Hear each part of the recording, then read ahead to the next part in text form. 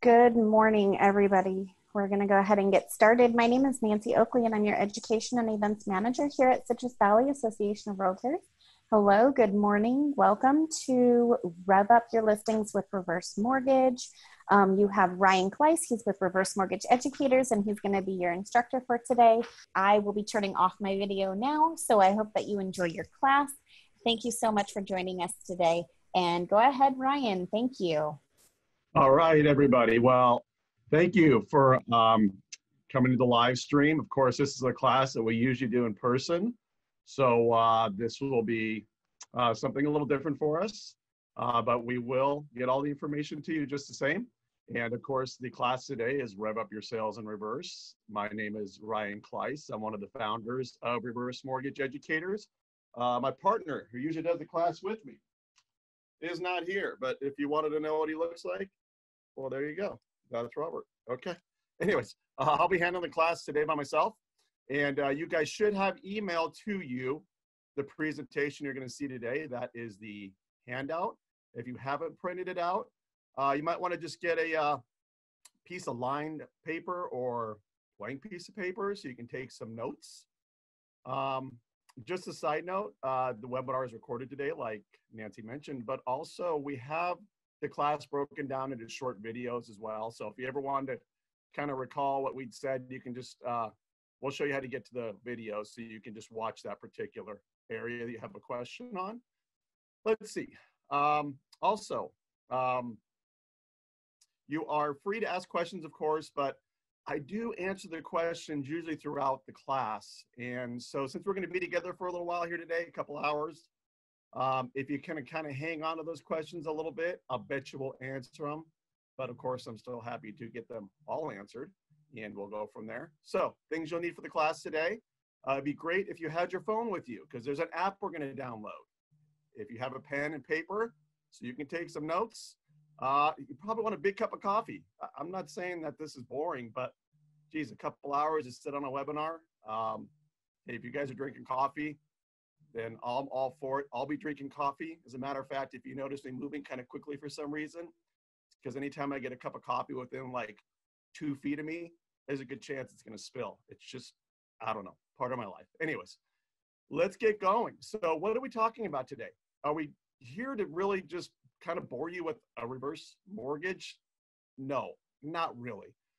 Uh, for years, about the last 10 years, Rob and I have been working with realtors and developing content and ways that you can use a reverse mortgage to help increase your book of business.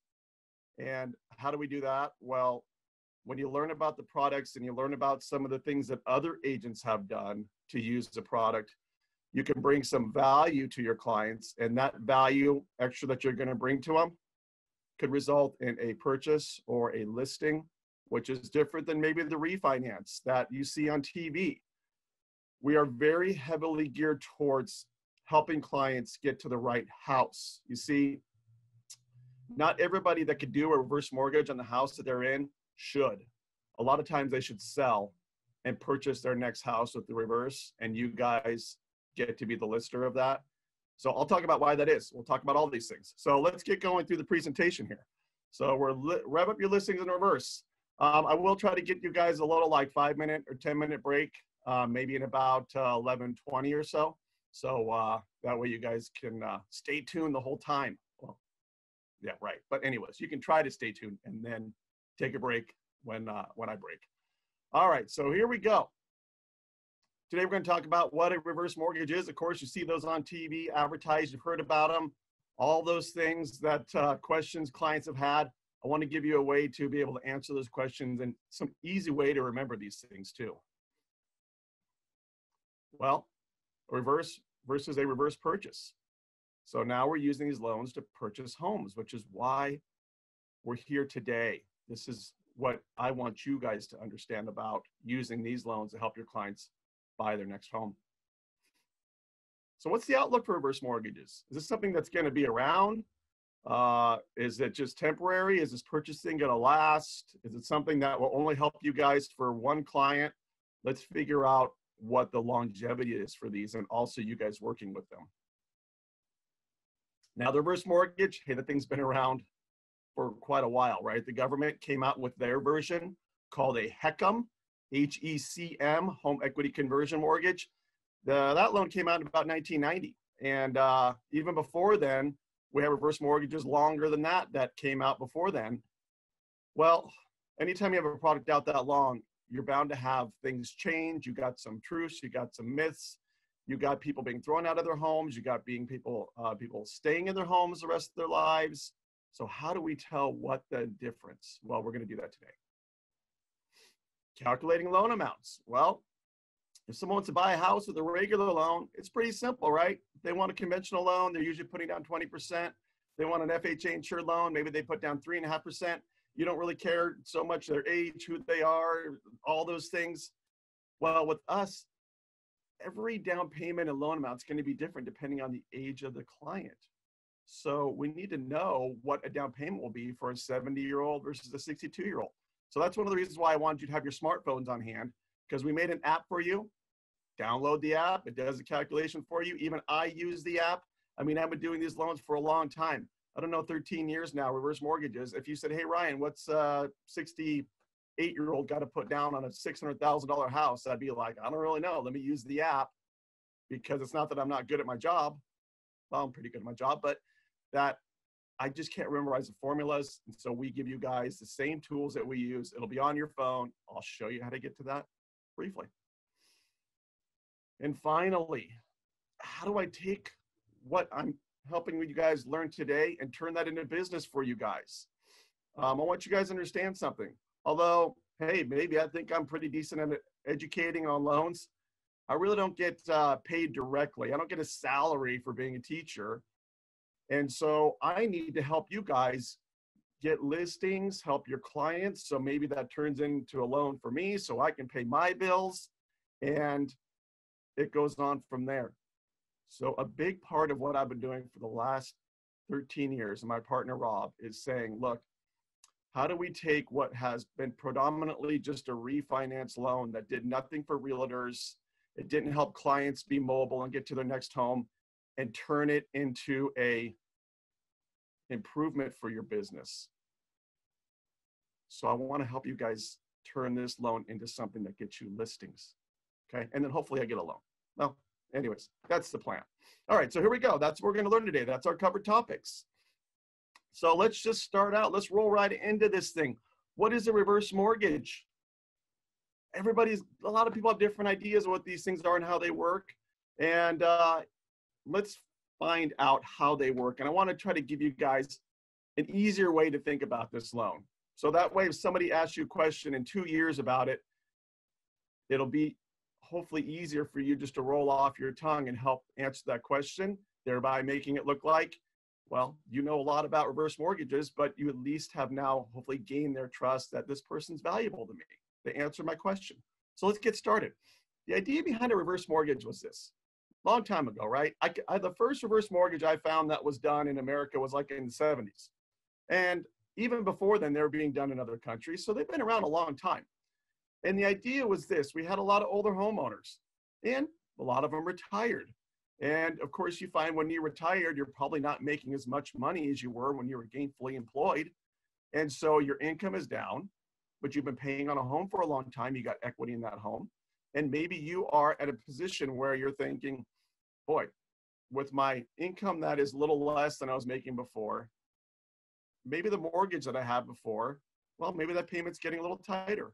Or maybe I need to get some money out of the home to do some improvements, right? I mean, if you're to look at my house right now, it probably looks like a war zone, and that's because I haven't worked on it in a while. And I could use an equity line, sure, to freshen it up, right? That doesn't really have anything to do with age, if you ask me. That's just part of home ownership. So if you go into a bank, right, an older homeowner would go into a bank, and this is what happening. They were going into the banks, and they were saying to the bankers, uh, "Here's my house. I have a lot of equity. I'd like to maybe either lower my payment or get some additional cash out. And so I'd like a loan. And the bankers would look at their income and look at their situation and say, you know, you might have great credit history, you might have a lot of uh, equity built up, but the problem is it looks like maybe your income, you might have a little bit of a hard time making a payment on a loan. And we know equity lines are getting even harder to get these days. And I'll bet you they're going to get even harder coming up. And so a lot of older homeowners were getting denied loans, even if they had good credit, if they had some income, if they had equity. And the bankers were turning them away because they just felt like the risk was too great that they weren't going to make enough to make that mortgage payment. So, of course, the bankers, well, they don't make money unless they do loans, and clients wanted loans. So here we had this situation. We had bankers that wanted to lend money. We had homeowners who certainly wanted to get money or be able to lower their current mortgage payment. So we needed some type of bridge. We needed some way to, to get people money, but yet the, the bankers feel safe that they're going to get paid back their money. So the idea came about to do this. They said, geez, if we have somebody that has a lot of equity in their home and they want to borrow some of that equity out, well, they started figuring this out and saying, well, what if we had a way that we could actually give them a loan and know that we were going to get paid back even if they didn't make payments to us, right? How do we do that? Well, if we know the house is worth a certain amount and we know this person, according to life expectancy tables, is going to live to a certain age, I suppose we could say, here's the money, the payment that you should be making to us every month. Instead of you making that payment, we will just add it on to what you owe. We'll keep track of basically how many payments you've missed. And then when the home sells in the future, that could be when you sell it, your heirs sell it, or when you pass away, we will get paid back all the money that we have lent you, plus all the payments that you missed. Now, as long as we don't loan you too much, so that how many payments you've missed plus what you originally borrowed does not exceed what the home will sell for, we'll get paid back. You were able to get a loan and borrow money. Sounds like a good system. And so that's how we started really with reverse mortgages a way for somebody to borrow money, even though they might not be able to make the payment. And those payments just get paid back when the home sells. Now, in theory, it sounds pretty easy, but you got to figure that these bankers had to figure out how long someone was going to live for. What's that home going to be worth in 10 or 20 years? What's the condition of that home going to be in 10 or 20 years? What are the interest rates going to be? How much money are they borrowing? So there's all these variables that the bankers had to put into their equation so that what? They didn't lend too much money so that somebody, when they passed or when the home was sold, owed more than what the house is worth because then what? The bank loses, right? So this was a tough thing to figure out. And for years, different institutions were working on trying to do this. Some of them would start a reverse mortgage and then they'd figure out this isn't really working out right and they would stop or they'd put rules in place. So it was just a little bit of a, uh, a mess, if you will. Well, the government, of course, watching everything that's going on, wanting to protect the consumer, at the same time wanting to make sure that banks just aren't putting themselves in a situation to lose money. Both of those are bad for the economy and for people. So look, this is what we can do to help this out. We're going to put some of our best guys on the job and gals on the job. They're going to figure out these formulas so that we think money can be lent and the equity won't run out. And we're going to ensure this system using FHA, the Federal Housing Administration money, that MMI fund that insures regular forward mortgages. We're going to have that insure reverse mortgages.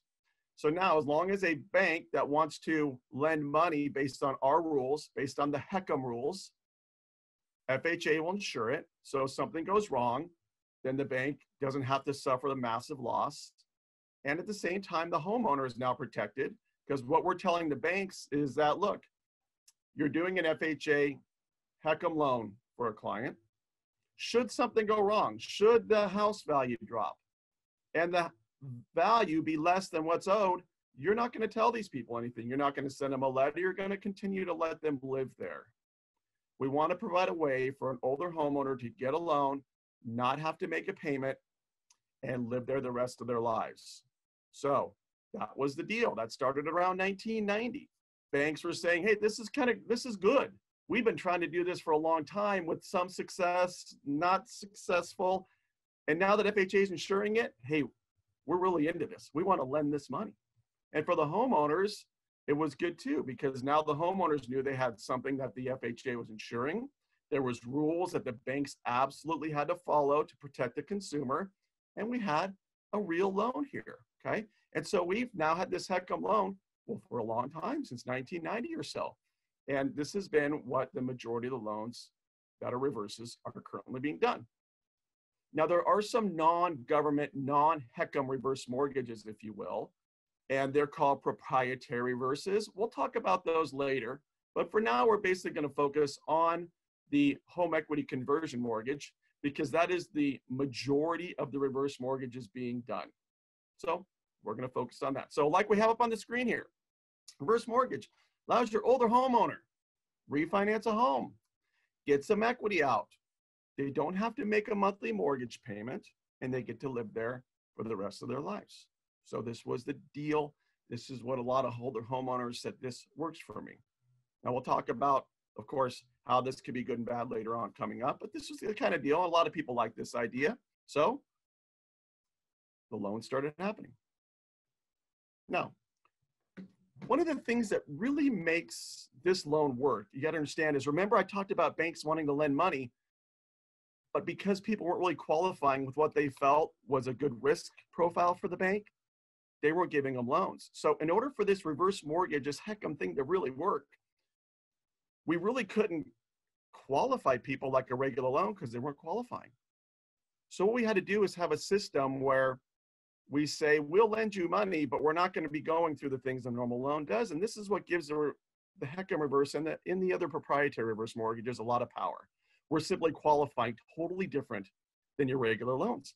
And this has given the HECM a lot of legs throughout the years. I can tell you that even though a reverse mortgage sounds great and a lot of people want it, a lot of people are saying, well, maybe I'm I heard about this reverse, but I don't really know if I want the thing, right?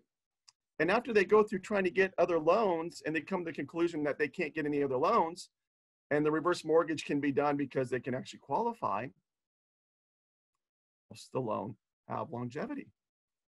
I've been doing these reverse mortgages for quite a while now, 13 years or so.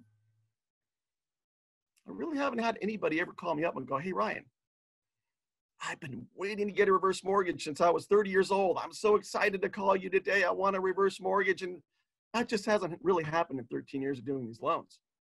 What I do get a lot of people calling going, Ryan, I, I think this reverse mortgage might be something that I want to know about or maybe I want to do. And of course, the conversation usually leads to, well, uh, why do you want to do this? What, what have you heard about it? Or, and a lot of people say, I'm a little afraid of it, but Ryan, it's the only loan I think I qualify for.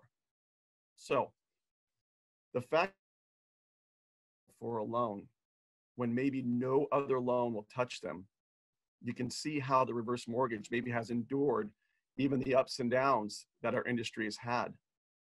Because if it's the difference between being able to own a home or not own a home, you can bet people are going to say, well, maybe um, I'll think about that loan that I was kind of afraid of, or maybe that I don't like some things about. Just don't get me wrong. There's some things mm, maybe not to like about these things, but at the end of the day, hey, I love my home. I want to be in my home. So if I got to kind of compromise because this is what's available, I might think about doing that. So I'll go through the, the qualifying a little bit later on, but just understand it's drastically different than normal loans. We can certainly qualify people when they couldn't qualify for anything else. And that's important, especially what? When they might be looking to purchase a new home. So 2009 comes along, right? Now think about this. Prior to 2009, I could only refinance people at the reverse. So think about maybe a, a client, right? That's in a house and they're having a hard time getting by. They got some equity in there and they've tried every other loan. They can't get any money out. The payment's getting tight. And prior to 2009, they may have only had an option if they wanted to own a home to refinance and stay in that home. Because if they sold the home and they didn't get enough equity out, maybe they couldn't buy another home. They couldn't get a loan to buy another home. And then a commercial maybe would come on TV that say, hey, we can help you stay in your home, get rid of your mortgage payment, get cash out, travel, you know, all these kind of commercials that eh, maybe they're a little over the top. But people would see this and they go, well, that's going to help me. So until we had this purchase reverse, people could only refinance with the reverse. And now we have a purchase tool, which is why it opens up to realtors. And this is where my partner and I years ago said, although it wasn't a big deal in the beginning, 2009 asked me how many reverse purchases I did. I think I did one. However, the idea and what happened after this loan came out is now making it to where the reverse purchase loan is becoming a bigger and bigger deal. And I'll explain why that's happening, even if nobody wants it to happen, why that's happening. You'll hear me, I think, throughout the course of uh, this webinar here, talk about the fact that not everybody maybe is excited about a reverse or, you know, there's a little bit of hesitation there. And I got to tell you that sometimes we do the product, people sell their homes, people do things, not necessarily because they're like super excited about doing something, it's because life circumstances brings them to that point. Your job and my job, of course, is to take the tools that we have available, make them work, work the best they possibly can to help our clients. So we have a lot of clients that are in houses right now. They're barely making it by. They're, the data is everywhere, by the way, you guys. I'll go through some data later, but the data is everywhere in terms of the fact that we have a lot of older homeowners. Heck, we have a lot of just regular homeowners barely making it by. But if you're an older homeowner who's retired and you're barely making it by, it gets a little more serious, it gets a little more scary. And without understanding how to bring the proper tools to them, a lot of times they're going to hunker down longer than they should. In other words, we have a lot of people who should be selling their homes right now, a lot of older homeowners, and they're not calling you guys. As a matter of fact, if you were to walk up to their door, what you'll see, and I know because I've had the blinds pulled down on me a few times before, I've had the mini blinds shut on me when I was going to doors because they are simply hunkering down because they don't think that whatever solutions you have is one that they're going to want. They think whatever solution is out there is something that is not going to benefit them or they're afraid of it. We'll get into more of that later on. So anyways, the 2009, we have the reverse purchase. Now we can actually buy a home using reverse and this is great because prior to 2009, a real estate agent might say, hey, Rob and Ryan, we have a client and they're having a hard time in their house and I think they're going to list their house and sell it, but they did ask about a reverse mortgage, so I guess I got to ask. And of course, what am I going to do prior to 2009? I'm be like, geez, I'm sorry, realtor, but I can actually help that person stay in their home. Guess what? There goes your listing. okay, guess who is really popular at realtor parties? Not me, because people be like, don't talk to that reverse mortgage guy. He might take a client that needs to sell their house and keep them in their house the rest of their lives. Ah, we know we got to do the right thing for clients, but that doesn't mean that all the time a realtor is like jumping for joy to see Rob and I. So when the reverse purchase came out, this was a big deal, right? Because now we could say to realtors, if you come across a client who's having a hard time, they're tight on cash. And I'll tell you how to find those people, by the way, towards the end of the webinar. You got to stay tuned for that. When we find them and we see they're having a hard time, we know that there's another tool to help them own a home we can get them to a different home. And like I said before, there are some times when a client, if they could refinance and stay in their home with the reverse, they should sell still. When would that be? When a client has a home that's worth a certain amount, we can only get them a certain loan size. So a lot of times there's a lot of equity that stays unlocked in a home with somebody that's refinancing. So they may get the benefit of not having a payment. They may get some cash, but they have a lot of equity that gets put aside that they can't use, and they might need that equity. So this is where we come in and say, look, you could stay here with the reverse, but we think if you were to downsize to a little lower price property, that would unlock a lot more money for you. And you would also have a loan that's smaller, thereby making it more efficient and maybe leaving more money in the property. So the hard conversations, of course, are the ones where we're trying to tell people what's better, even when they could have the option of staying. But this does turn a lot of clients into listings. I'll talk about that more later. So we have the reverse purchase 2009 party time. I get to go to parties. I get to talk to realtors. I'm not the worst guy in the room anymore because I'm like, there's some stories are getting out where an agent was able to list a home and a client was able to buy a home using reverse and it worked out well. Hey, this is great let's talk a little bit about the reverse and how it works. I kind of mentioned back up here that a client doesn't have to make a monthly mortgage payment, right? So it's different than a regular loan, right? And so sometimes I know individuals have tried to like make the reverse mortgage like this whole other thing. It's not even like a regular loan. It's so confusing, or I don't understand it, or I hear these things that I don't even want to try to figure this thing out. I'd rather just not even talk about it. But let's go into the workings a little bit of the loan because I want to just give you a little better idea of how to think about it quickly, even years from now, and say, oh, yeah. Let's talk about a regular loan. I think a lot of you guys know how a 30 year fixed loan works, right? How that loan works is that when you get a loan, let's say you buy a home or you refinance your home and you borrowed $300,000 from the bank, and you're going to get your first statement. This is like on a regular 30 year fixed and it's going to say you owe us $300,000. Your first payment is, uh, let's just say that's uh, $1,500. So send in the $1,500. Next month, you will get a statement that will say you owe us $299,800. By the way, these are just estimates. Because of what? A little bit of that payment that you sent in went to principal and the rest went to interest. And you will continue to do that. You'll continue to get statements every month that shows how much you owe and how much your payment is. We all know that. That's a regular loan. If you buy a home with the reverse or refinance with the reverse, and let's just say that you borrowed 300,000, you're going to get a statement every month. That statement's going to come to you. The statement, let's talk about the first statement. The first statement, you owe 300,000. Also on that statement, it is going to show what the costs for the loan are. This is an FHA loan, so it'll have a little mortgage insurance and it'll have the interest.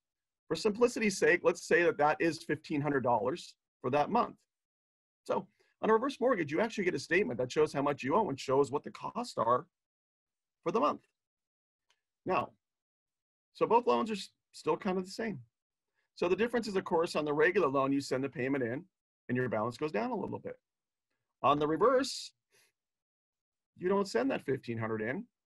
So next month when you get your statement, you don't owe 300,000 you owe $301,500 because, of course, you didn't send it in. And guess what? The next month, you'll get a statement. It'll say that you owe $301,500 and the interest due for this month, of course, because your balance is a little bit higher, might be $1,510. So the reverse mortgage is just a way of borrowing the money, deferring that interest and cost to later on in the loan, and you still get a statement every month. You know how much you owe, you know what the costs are. You know what's going to happen next month. So there's no mystery here. So when someone asks you, how does this reverse mortgage thing work? I'm getting a lot of mail on it. Believe me, if you're older, you're getting mail on reverse mortgages. It's all over the TV. Everybody wants you to get a reverse mortgage. So a client may ask you, how does that work? You can, and now just, I just want you to go back kind of what I said pretty simply. Well, you know how your regular loan works. Yeah, I know. I got, I make a payment every month. The balance goes down a little bit oh, well, if you were to get a reverse and you borrowed money, you get a statement every month and it shows you how much is due. If you don't send that in, it'll add on to what you owe.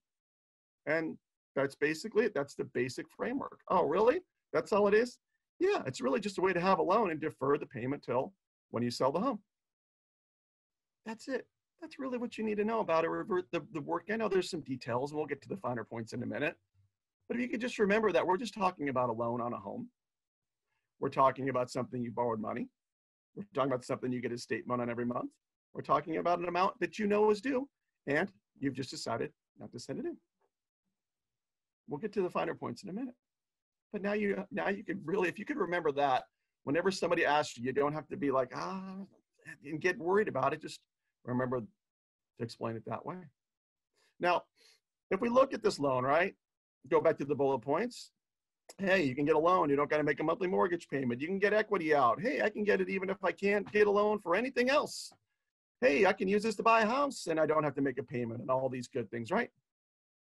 Well, even with all those points being considered, we still have individuals who are going to say, yeah, I just, I don't know if I really am into this. I, I know it might be my only option, Ryan, but I'm not saying I, I still like this because I'm going to have a loan on my house and balance is going to go up every month and interest is going to be added on because of the interest.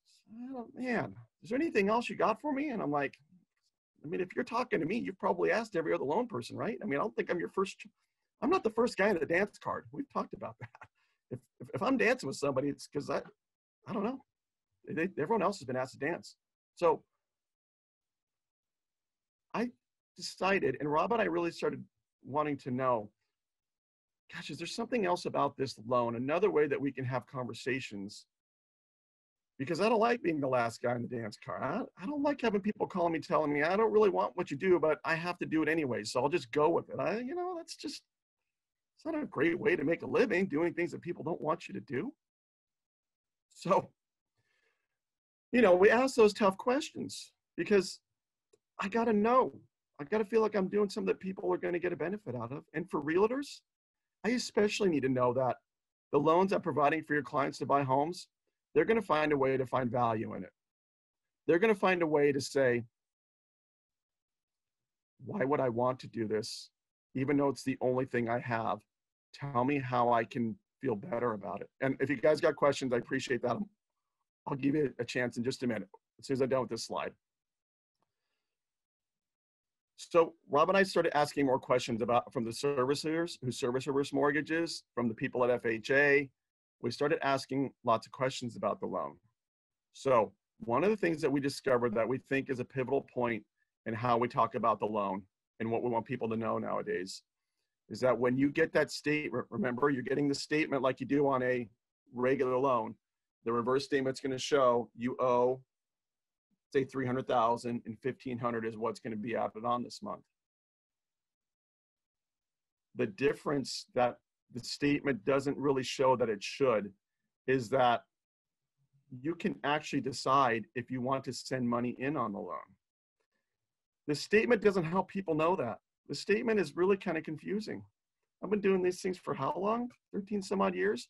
When I get a statement, I'm still like, oh, man, I hate looking at them. I literally look at them and I'm like, this is confusing.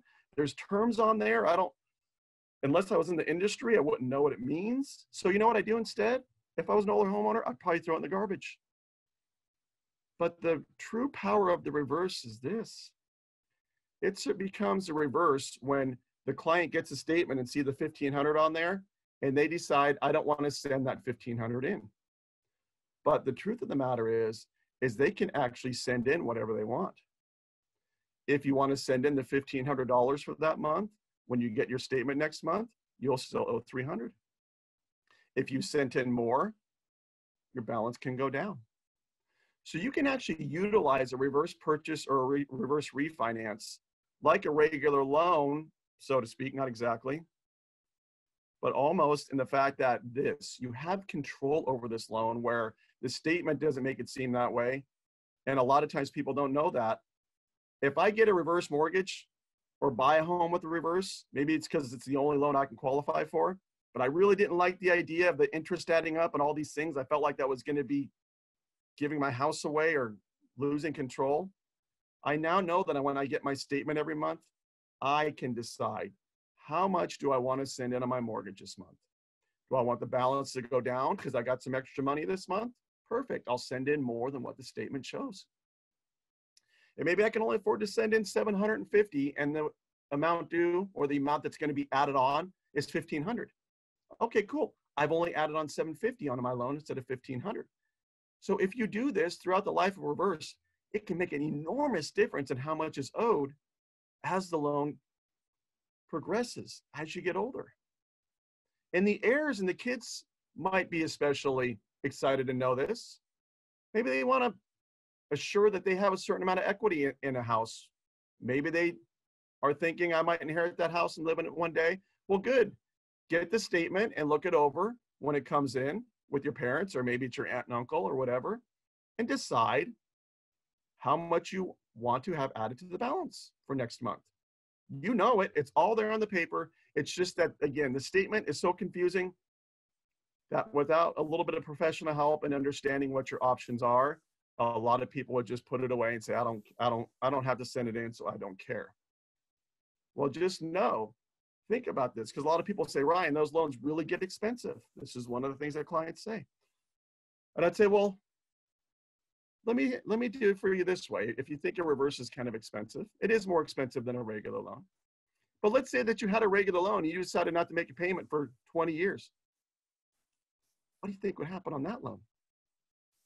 You'd owe a lot of money on it. Well, if you get a reverse mortgage and you decide not to send in a payment even for 10 years, that's 120 payments you've missed. Do the math. 120 plus the extra interest that compounds on, plus the $1,500 that was the original payment. That's going to be a pretty high balance. But it really wasn't like that, you know, something was going on we didn't know or there was money being added on from nowhere. It's simply that instead of sending the 1500 or the 1600 or whatever the interest was for that month, instead of sending it in like you would have had to do on a regular loan, you kept it in your pocket. Well, your balance is going to go up. So I just started letting clients know that it's really your decision on how the loan works, not the banks, not anybody else, not the commercials on TV. You fundamentally every month have the power to decide what you want to do. I think it removed a lot of anxiety about the loan. It gave people a path to be able to get a loan, own a home, buy a home, and not feel like we're pigeonholing them into a loan that they cannot control. There's no prepayment penalties on a reverse purchase or a reverse refinance, which means that you can pay what you want whenever you want. You can sell the home, you could refinance it, you can do all of these things. We can't tell you no. There's no prepayment penalties and that's the power i believe of the financing is being able to get the loan. If you buy a house in reverse and you find ah it's not really for me you can sell that thing in two months 10 years. It's not up to us. It's up to you to control your loan. And now that we know that you indeed are the one controlling the loan every month it changes the perspective it changes how we want to have these loans being done okay all right, I'm gonna do one more point, and then we're gonna take questions. Okay.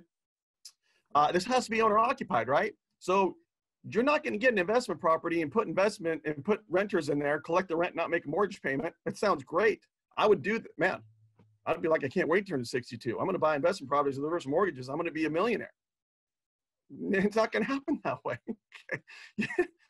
we want you to live in the property. Why? Well, this is an asset that is secured by a loan that we're not collecting payments on the balance is going up. We want people living in the houses to take care of the house, make sure everything's okay. Now, that doesn't mean you can't have people living in rooms. If you want to let people live in your rooms, that's fine. You can't Airbnb it live in the house. No, no. But you can certainly rent rooms out to people over a longer time frame. So there is some flexibility, but you do got to live in that house. It can be a single family. We can do condos. We can do one to four units. You'll see the slide does say non-approved condos use reverse, private reverse. Well, nowadays with the rules changing, we are able to do some condo complexes that don't have FHA approval. We're able to do single unit approvals again. So there you go. Don't get reverse and Airbnb it though. I'll call on you. I'll turn you in. We want these loans to be used properly we want the houses to be taken care of. That way we know that we have a long run with these loans. Okay, finally, let's open it up to some questions and let's see how we're doing. So we had um, a question, but they said that it was answered by your previous statement. So I think we're cool. good. All right. So no more questions at this time. I just want to remind everybody to utilize that Zoom group chat if you do have questions. But like Ryan said, he seems to be answering your questions before you're asking them. So we're just going to open it up at the end of each segment and go that way. I think that's really great. Oh, we do have um, somebody who wanted to know explain verified seasoned on down. Okay. I don't really. So on down payment. Yeah. The, I'll go back up to the bullet point. The down payment must be verified and seasoned. Well, much like regular loans, um, underwriters want to know where the money is coming from for the down payment, right? Because they don't want they want to make sure that maybe a seller is not giving the money for the down payment some way back around to the buyer and all these things. We need to have seasoned funds. So as a safety precaution, what I let people know is you should either be able to source it like it's coming from the sale of another property. Gift money is allowed you can gift gift money from people for the down payment. We need a gift letter. If you can't get a gift letter, it's not coming from the house that you sold. It's not coming from your bank accounts. It's just like mattress money. I wish I had some mattress money. I got none. But you got to put it in the bank account and season it for, I, I say put it in the bank account for 90 days. Okay. Get those accounts, get those funds seasoned, and that will allow it to be a down payment. But if your son wants to give it to you, or you, know, somebody you know, gift letter, down payment, done. Let's, um, any other questions, Nancy, or I, I Yes. keep going back? Okay. Yes, one more. Um, what happens if the homeowner lives past their expected lifetime? Is there a guarantee that they will never be kicked out even if they live until 100? Yeah. So, okay. Now you can be kicked out of a house, a reverse mortgage house, but it has nothing to do with that. We'll, we'll and we'll cover that in later slides, by the way. If you want to know how the heirs Okay. inherit the house and all those things, we'll cover that. But let's grab this question. The government does the life expectancy to try to figure out how much money to lend, but that doesn't mean they're saying if you live past it, you're out. The deal is you get to live there till you pass away. Now, I recall years ago going through the HECM book, kind of thick. I think there was something about 150 years old. So if you plan to live 150, I can't guarantee that the reverse mortgage is going to go to 151. But anything younger than that, it doesn't matter how much you owe. It doesn't matter how many payments you've missed. It doesn't matter if we've gone into a recession or I don't want to say the D word, but if we've gone into some really tough times, that's why some people, and that's why we're a little busier right now, actually. There's a little uncertainty in the market right now. So people are like, geez, how can I make sure if the world's coming down around, I, I know I got the roof over my head. And uh, so that's the one of the things that people like about the reverse. Okay, any other Okay. questions? Yes, couple more. Um, no, not a matter of no payments monthly since at least the taxes and insurance costs for the property need to be covered, correct? Yes, so thank you. Uh, I'm not sure you asked that question. When, when I say monthly mortgage payments, it's just the mortgage payment, right? So you're going to be responsible for paying your HOA, your homeowner's insurance, and your taxes. And this is one of the things that can get you foreclosed on, which we'll talk about later. So, uh, and let me lead right into the, to this next point, and I'll, I'll get some questions after that. Okay. See, years ago, we really didn't do much in asking about how much people were bringing in. Like roughly about five or six years ago, you could get a reverse, and I didn't really even know if you could afford to pay your tax insurance. That's not such a good idea, right? I'm giving you a loan, I'm letting you take equity out, you spend your money, and your income coming in doesn't cover your tax and insurance, and guess what happens? Well, you default on your taxes, and that could trigger a foreclosure. So we had some bad times because we weren't doing a good job at least making sure you could handle your monthly expenses. So that's why we actually have limited income verification now. I want to make sure that you have enough money coming in to pay your tax insurance. So let's say your uh, taxes are 6,000 annually. That's 500 bucks a month. Let's say your insurance is 1,200 annually. That's 100 bucks. I'm at 700 bucks. I also want to make sure you can eat and buy soap and do some of these things, you know, to take care of yourself. And the government thinks it takes about 500, uh, almost 600 bucks for someone to do that. So I got 700 plus 600. I'm at 1,300 right now. And then we use a little formula to figure out utilities. We multiply the square footage of your house times 14 cents. And so let's say you have a thousand square foot home, that's 140 bucks. So now I have six, seven, six, 13, 1400 bucks. I don't, I might have messed up on that math, but you get the point. So if you got that 1400 bucks coming in, I know you can at least feed yourself, pay your taxes, keep the utilities on. So that's what the limited income is. Now, this isn't a underwriting webinar, if you will. FHA in that thick book does have some cool rules where if maybe a client doesn't have that money coming in, we have other ways to substantiate that. So I don't want you guys to try to disqualify or qualify your clients. That's my job. I want you guys just to understand that we're trying to take better care of people we're giving the loans to by making sure they can at least take care of themselves. The credit qualifying requirements, check this out. See, prior to about five, six years ago, we didn't really care about credit either. Well, now we do because what if you've never paid a bill on time in the last five years? What if you don't pay your tax, your property taxes? You don't pay your homeowner's insurance? Well, now even if you have the income to pay it, but you have a history of not paying it because I don't know what you're doing with your money.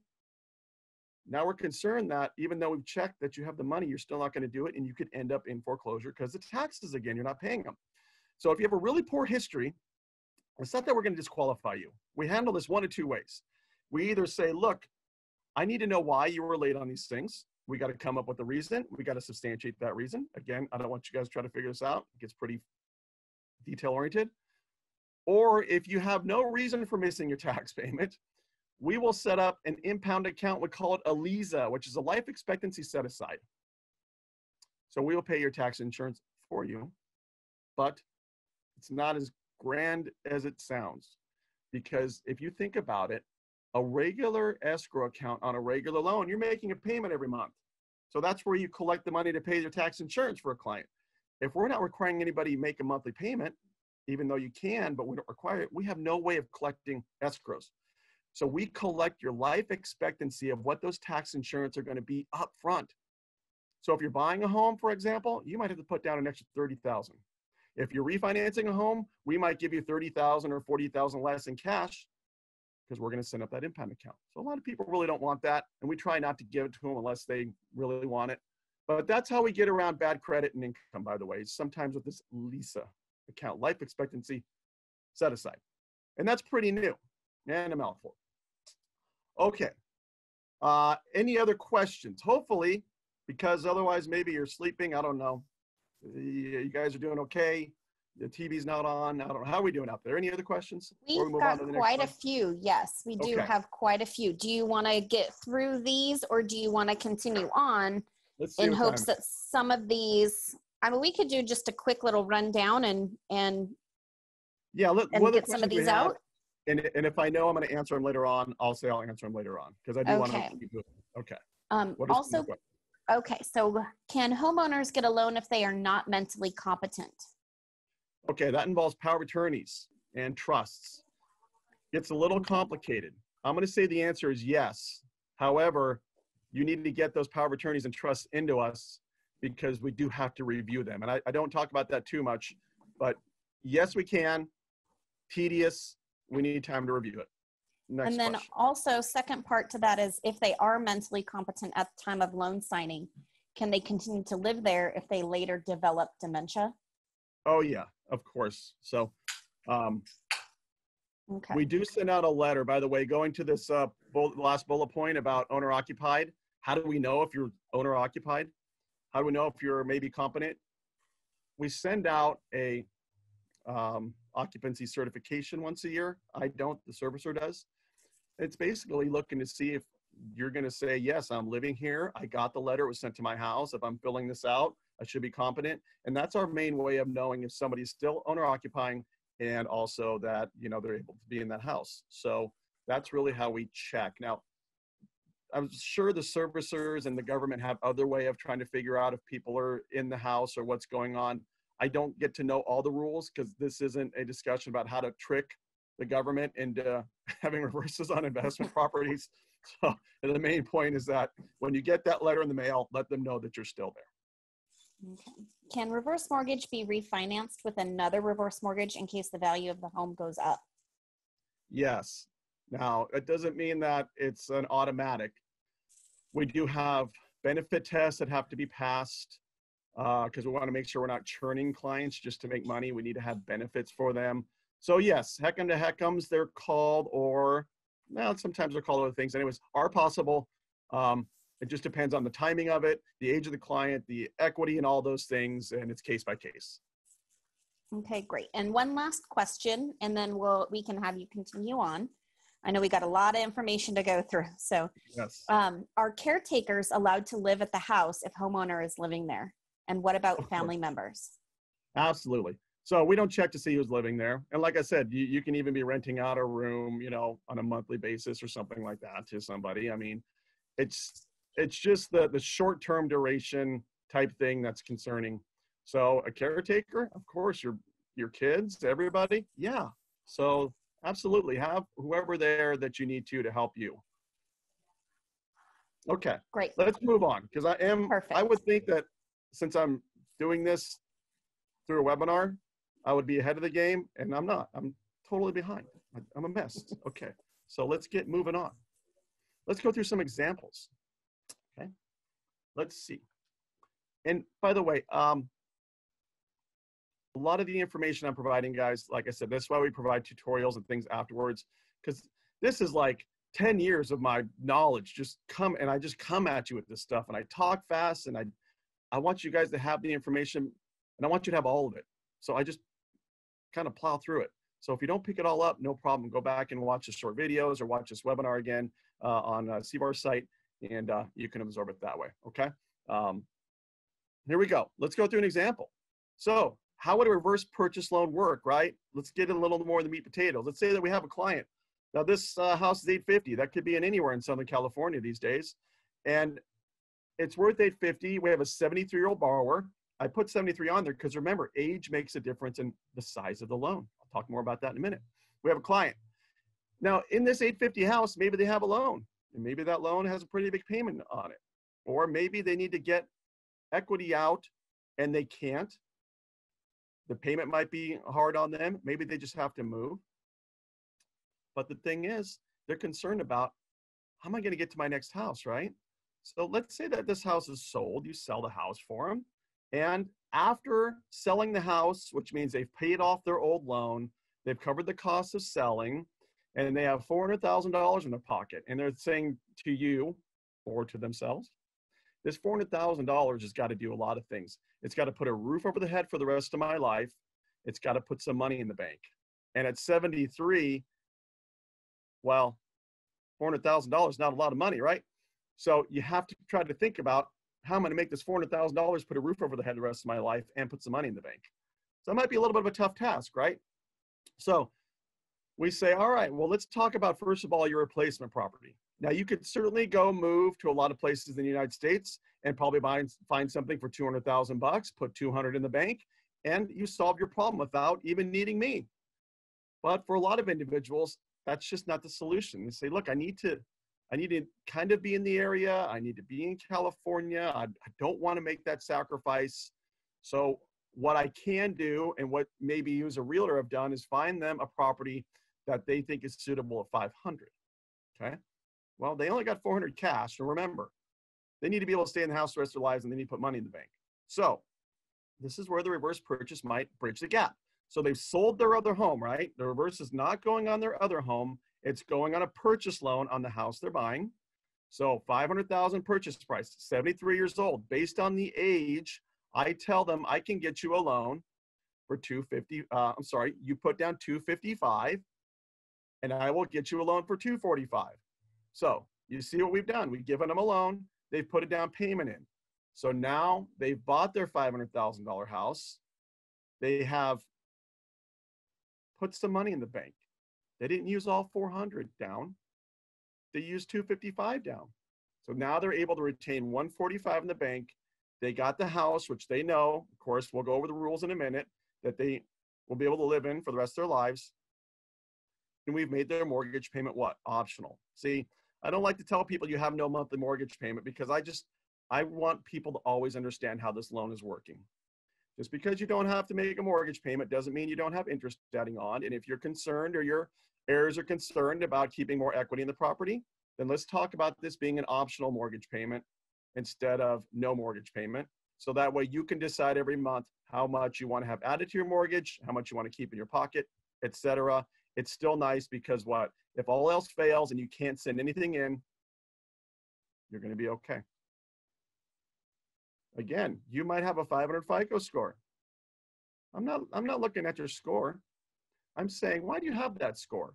Explain to me why you have that. That way I don't have to pay your tax insurance for you. Explain to me why these things happen. And boy, there's all kinds of reasons.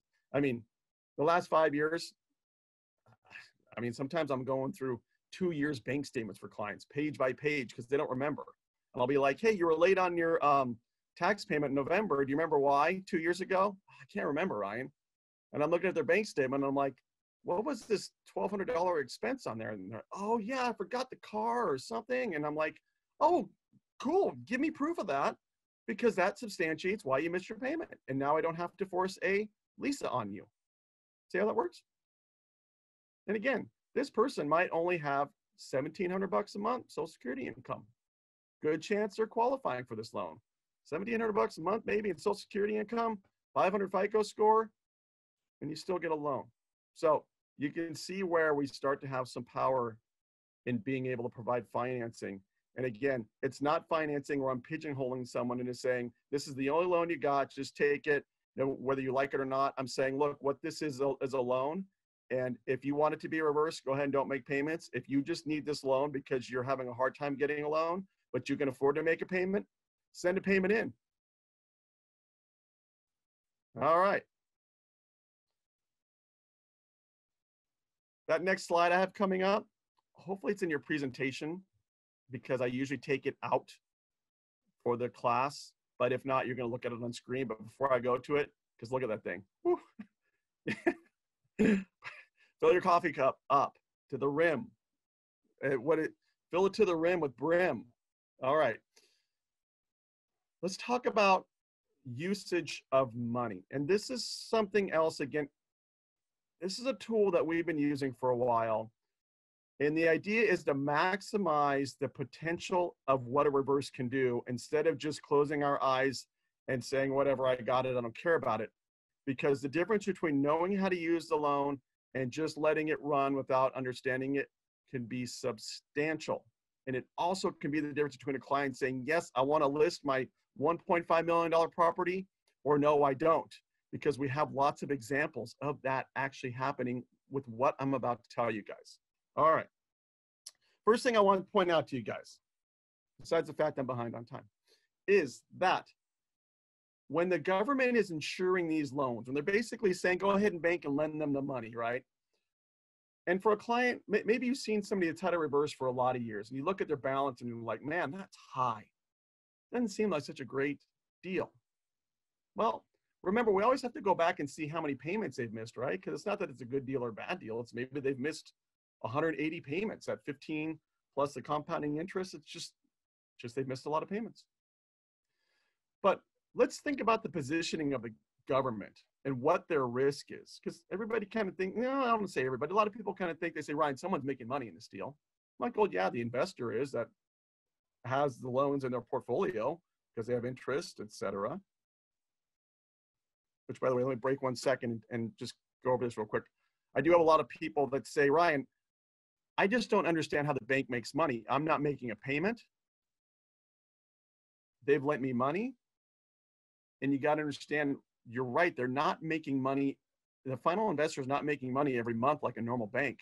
They're waiting because when the loan gets paid off, that's when all those payments that people missed go to the investor. So instead of getting a little bit of interest each month, like a normal Fannie Mae loan, they're getting a big giant junk, uh, junk, a big giant chunk of interest when the loan is paid back. So it's not like the, the bank's not making money. They're making money. They just have to wait. Unlike a regular loan, they got to wait. How long? Till the home sells. That could be when you pass away. That could be 15 years the final investor is waiting a long time to get paid. Okay, back to what I'm talking about here. So how the investor's making money, but the government doesn't really want to make money. They're just there to insure the loan, but there's a lot of risk here.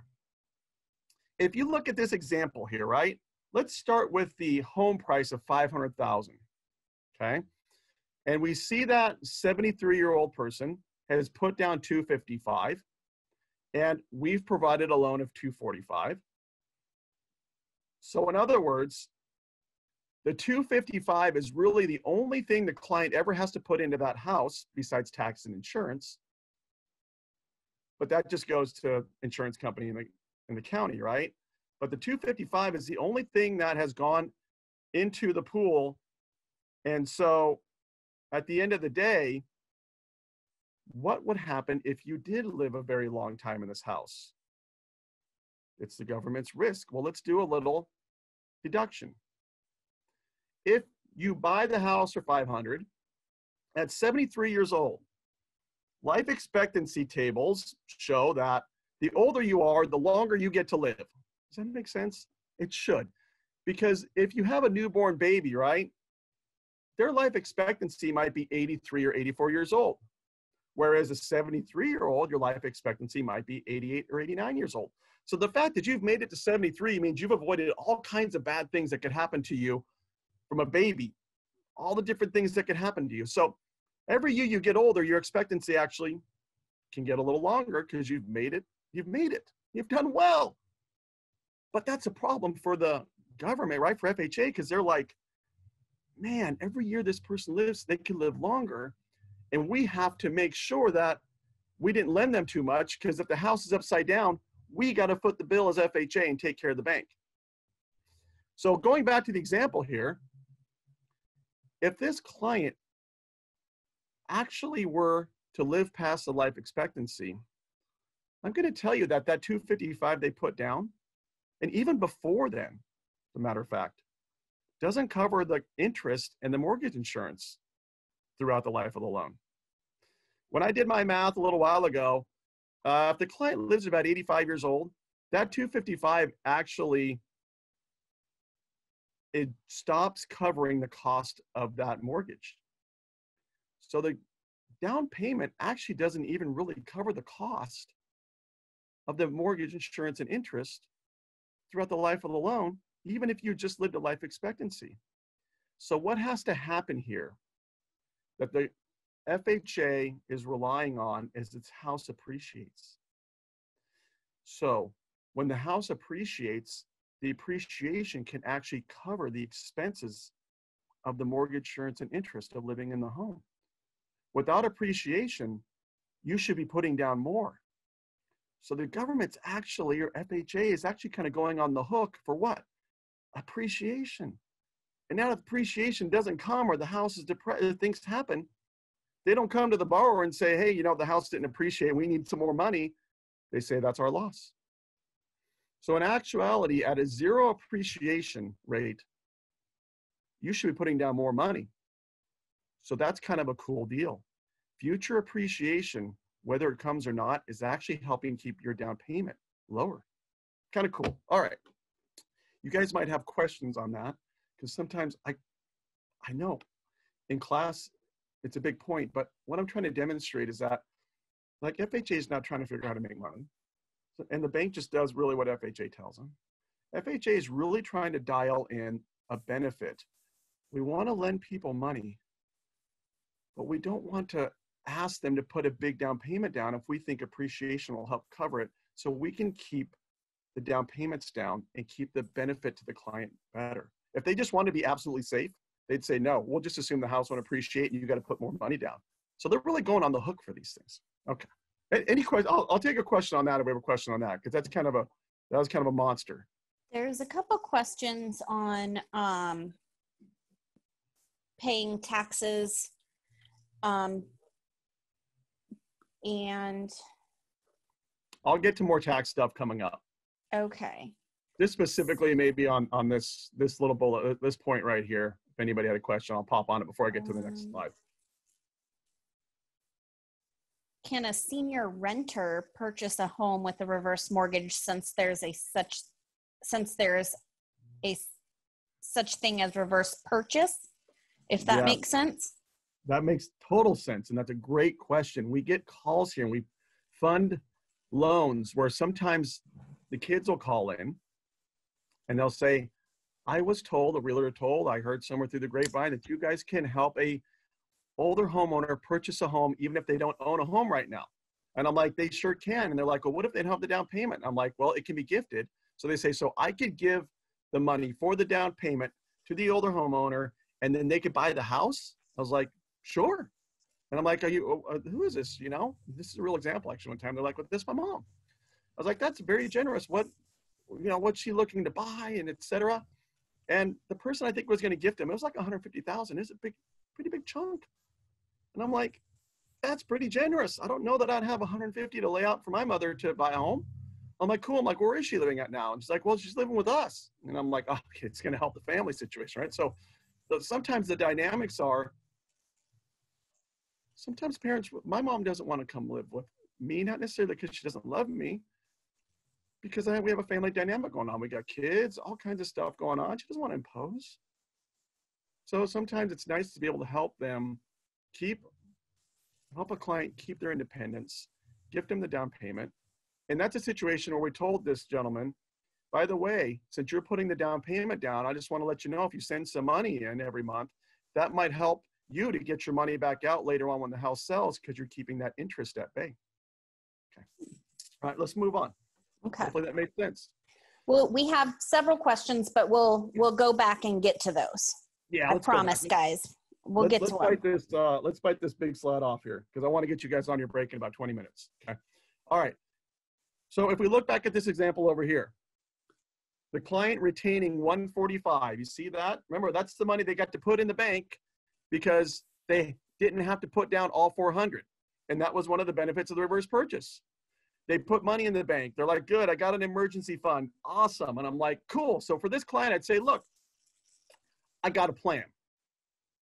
how about if I take that 145 and I give you more? And they're like, okay, I don't, what, like an investment? I'm like, I'm not an investment person. And they're like, uh, is this, is this illegal? I'm like, of course not. I would never do anything like that. But I, I can help you get that 145 to be a little more. And they say, well, tell me how that's going to happen, Ryan. Say, cool. And by the way, this is going to help save interest. Remember, kind of like the making the payment on the thing. This is where we're going. All right.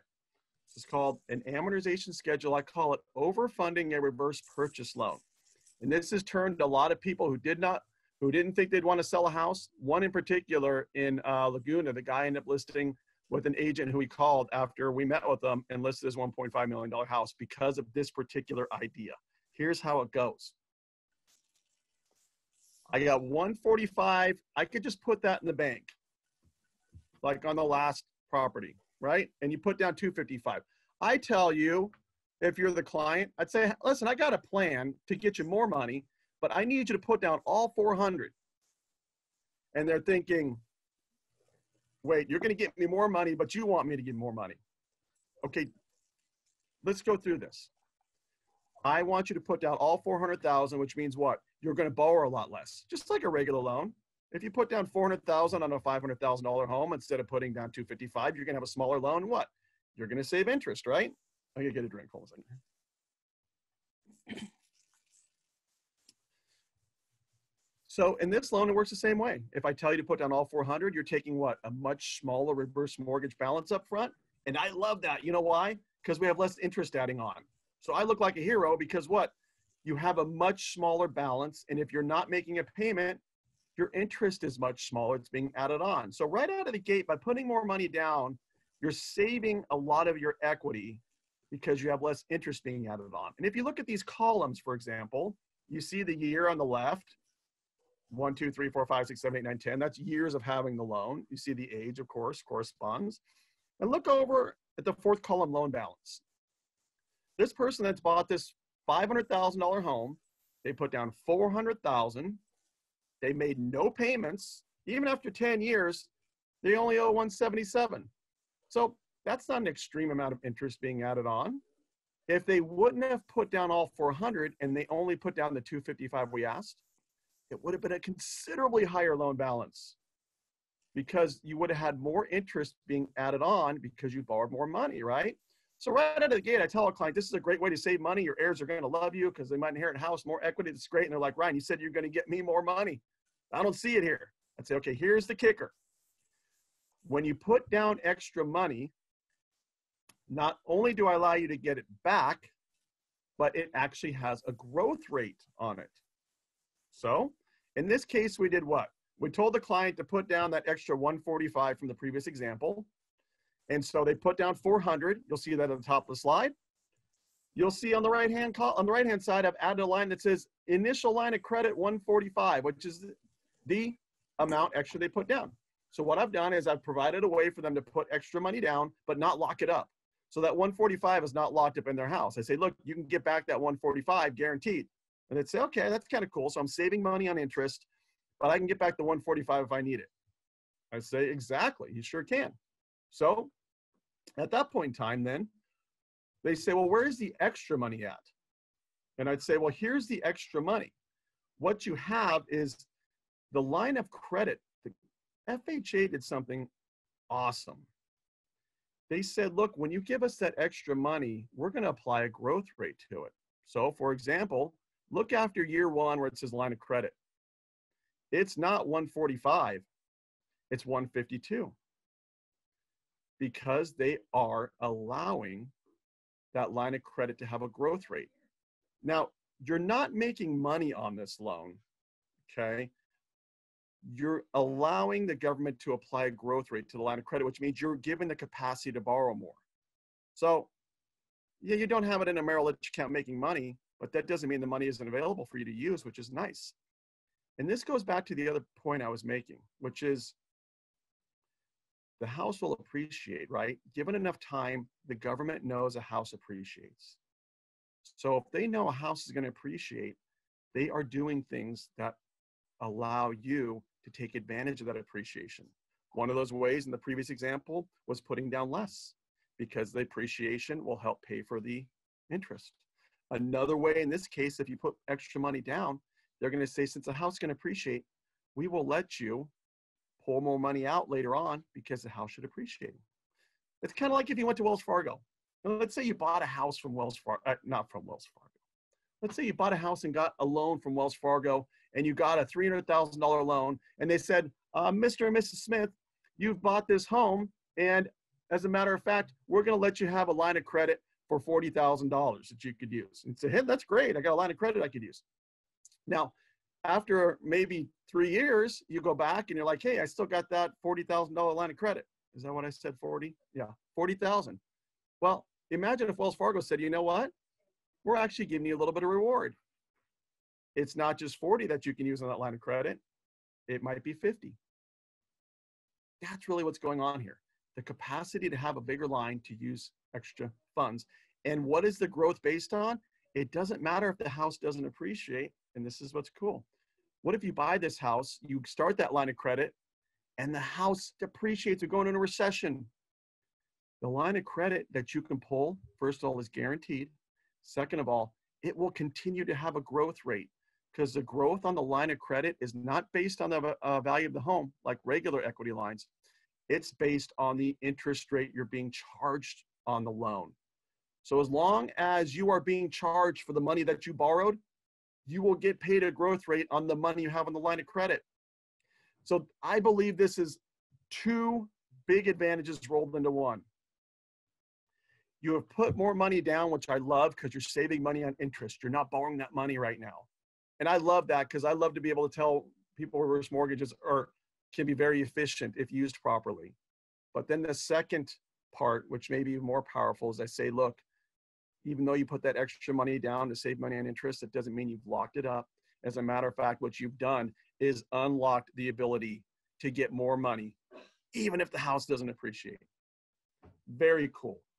I don't expect you guys to explain this to a client when you're sitting down with them. Wow. What I really want you guys just to be able to get the feeling in what I'm explaining with this loan is that the education the understanding that this loan has things that can do wonderful things if you know how to use it can make all the difference in the world to the client that's buying a house this loan or somebody that's even refinancing.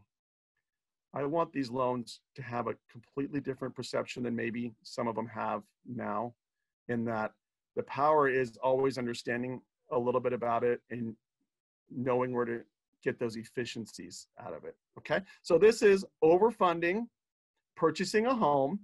That overfunding gives you a line of credit that grows over time. Even if the house doesn't appreciate, that line of credit's there for you and it will grow. Look, as a matter of fact, if you didn't even touch that 145 after year 10, what do you have? You have 234.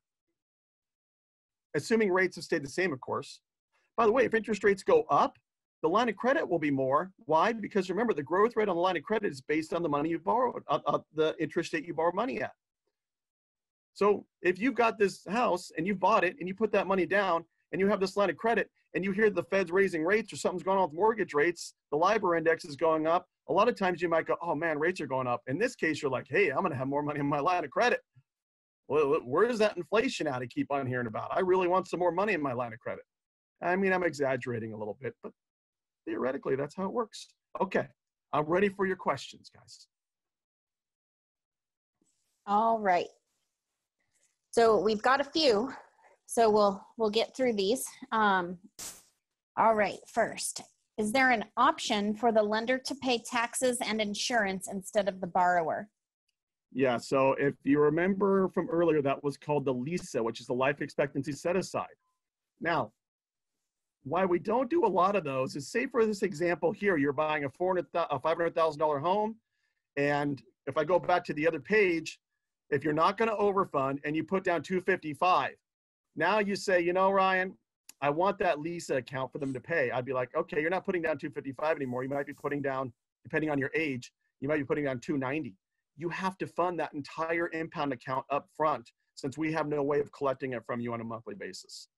Okay, next question when the loan is paid off, does the payoff go up substantially from what the monthly statement's balance shows? No. So if you're ready to pay it, let's say you're going to sell the house or you're refinancing or the heirs, maybe unfortunately our borrowers have met their maker and the heirs are looking, whatever that statement shows, if you have the most updated statement, you're going to know what's owed. Now, you can also see in that statement what the interest is and the mortgage insurance is for that month. And so you can project a little bit, maybe if you don't pay the loan off or you don't sell the house for a few months, how much extra that balance will go up because you know what the costs are. So there's no secrets there. What is owed is what is on that current statement when you get it. What would be the pros and cons for beneficiary? Well, we're going to go over beneficiaries. We're going to we're going to tackle that one in a whole slide. So we'll we'll pass on that one, and I will get back to you. So if you're planning on leaving early, you get to stick with me for a while. Stay tuned. um, so, how volatile is the interest rate for RM? Okay, so there's two. There's multiple products. I can't get into each product right now because you guys won't. You guys won't sit with me for four hours just that's just a fact of life. You don't like me that much. We have an adjustable and we have a fixed rate. I will tell you, it's counterintuitive here. Ryan, ask me what I have on my house. Ryan, I have a 30 year fixed. Don't talk to yourself, Ryan. No, the idea is that I love fixed rate loans. If someone was going to refinance a regular loan, I'd say get a fixed rate loan, rates are low. Reverse mortgages are, to- are really quite different.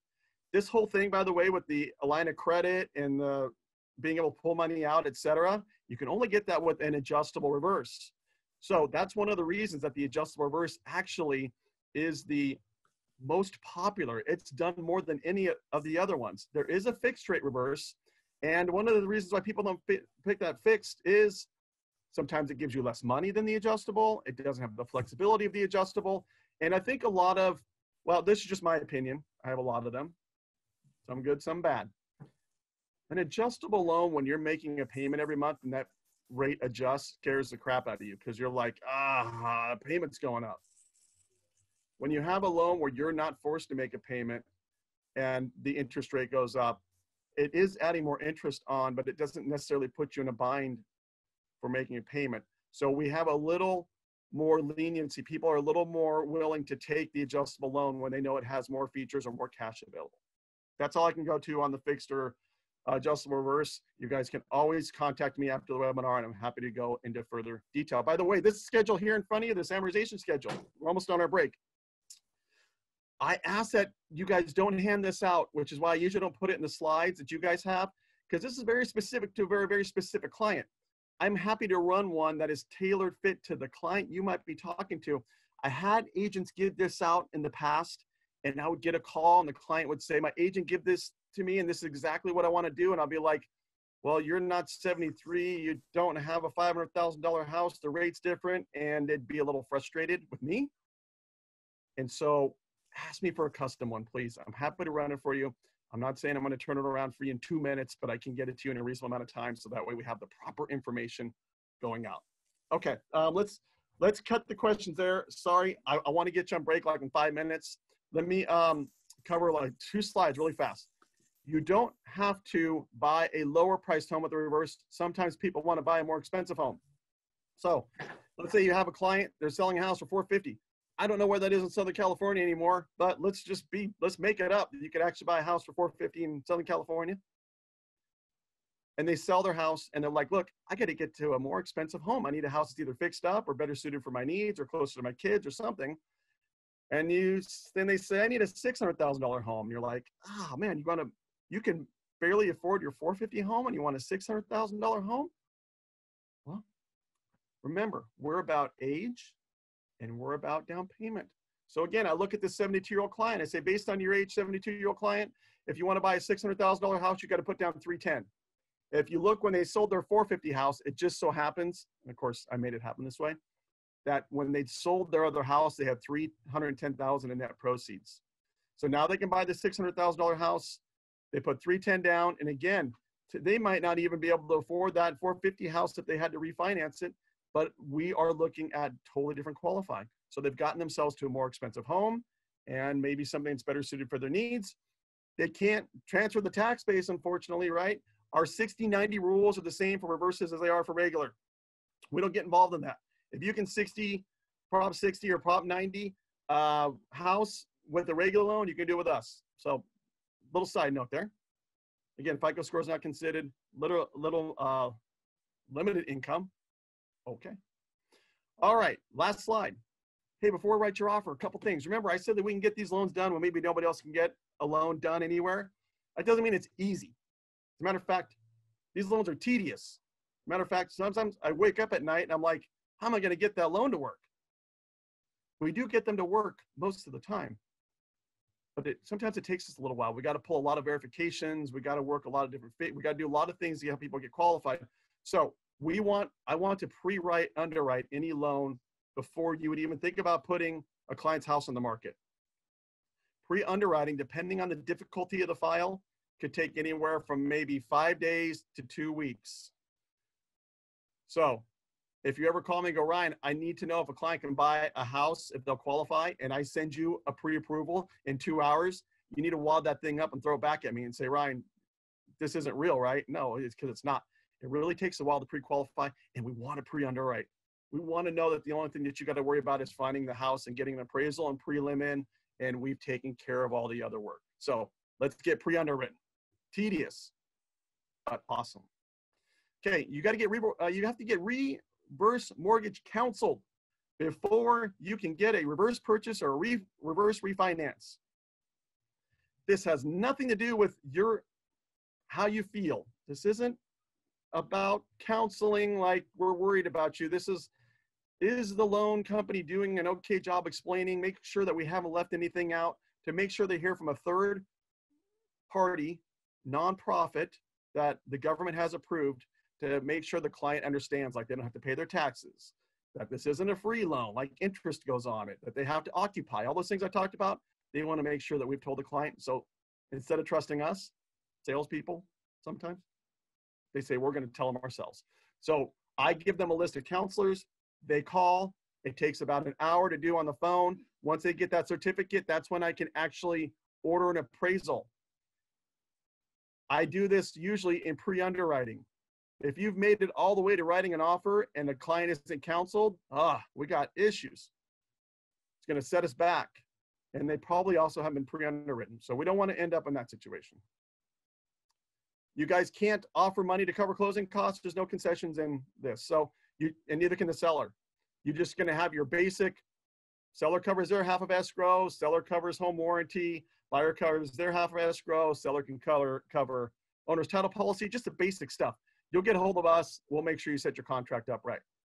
This is a form that's available in your uh, zip forms, mandatory escape clause. Check it out. Very easy. Have that done as well. So what I'm seeing here, I'm going through this list quick, is of course, we're helping you develop this into a transaction. We're probably helping you find the clients or helping you talk to the clients.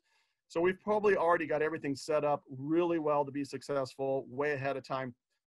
But every once in a while, we do get a call from an agent. They're like, Ryan, I'm just about to write an offer for a client. I'm like, I haven't even heard of this person before. What's going on? Are they, did we pre underwrite them? What, did they sell their house? Did they get counseled? Let's not do that. Let's call us or email me so we can get everything set up for success. So, one question is Can you please explain how senior renter can buy a new home with reverse mortgage? Uh, sure. Well, just mean, think about a uh, a senior renter wanting to buy any house with any kind of loan. I mean, it's a matter of do you have the down payment for what the loan is going to need you to put down. So, in our case, we always want to know the age, right? So let's say that we have somebody who's 67 years old, and I'm just gonna I'm just gonna put a percentage out there, but this isn't exactly correct, but 67 year old might have to put down 49%. And that's the biggest qualifying thing right there. Because remember, we're usually looking for a little bit of income, not a lot. Sometimes, if they don't have enough Social Security income to qualify, we can find other ways. They don't have to have great credit. If they do, they can explain why. So you can see how the biggest thing what can someone buy a house the reverse? Do they have the down payment for the age on the house they want to buy? And sometimes if they don't have that down payment, then we got to downgrade the purchase price, right? It's not like we're saying no. We're just saying, well, maybe you can't buy a $500,000 home. How about a 400? How about a 300? How much money do you have? I got $100,000 in the bank and I need to buy a place. Cool. 67 years old. We probably got to find some place for 200,000. So we just adjust our price to match their down payment. And then we start looking at, you know, for a little bit of income after that. So again, no prior history, nothing like that. Just down payment. Biggest thing. Okay. Are there loan amount maximums? Are there FHA maximums? Yeah, I want to hit on the slide when we get to that because I, I could go down that rabbit hole for a while. So we'll get to the slide on that one. Okay. And what is the fee for reverse mortgage counseling? Is it paid up front? Okay. Yes. So the reverse mortgage counseling is something that we can't cover. Nobody can cover. They need to be paying for it, and it can be put on a credit card. Uh, it typically is about 135 and if you don't have that or you don't even got a credit card some of the counselings allow you to finance that 135 so you just have to ask them say i don't got any money i need to get counseling done and they would say well okay we'll let you finance it for 90 days maybe until your other house sells and you have the money something of that nature every once in a while hud will give out grant money. So sometimes these reverse mortgage counseling companies get grant money and they do it for free. But that's like a you know that's like a unicorn man. Try to find that that counseling company that has enough grant money left to get it for free. You could be chasing that thing for a while but they're out there. Okay what about manufactured homes like a mobile home on land? Can that be financed through with reverse mortgage? So it is definitely more tedious to get a mobile home done they can get done there are quite a few requirements and more inspections that need to be done uh, the biggest thing, of course, is, is since this is a FHA, HUD financing, has to be 76 or later, has to be tied down foundation. You don't necessarily have to own the land that's on, but then the leases do have a lot of uh, requirements in terms of lease in place. So not a lot of them being done, but they can get done. And if that's where we have to price level we have to drop to to help someone buy a property to own it, then that certainly is an option. Are there any instances where a homeowner that is living in the home be evicted if taxes or et cetera have been impounded? Yeah, and we're going to go through that very, uh, very particularly coming up. Yeah, if you don't pay your taxes, I mean, just basically like any house, if, if you don't pay your taxes long enough, the county will put your house at sale to get their money. So with a reverse or like a regular loan, for example, the lender doesn't want to let that house go to auction by the county because the county doesn't care about their lien. They just want to get their money. So that's why the lender will have to preemptively foreclose when those taxes aren't being paid to make sure that they get their money. So we don't want to fall behind on properties and reverse mortgage when it comes to taxes because it's a very limited period of time to get caught up on those. So very important point. Okay. Can a senior use a 401k or retirement account? Absolutely. to use as a down payment. You betcha. Okay. Awesome. That's Better- it for the than that. questions. You better than that. Use your kids' 401k. uh-huh.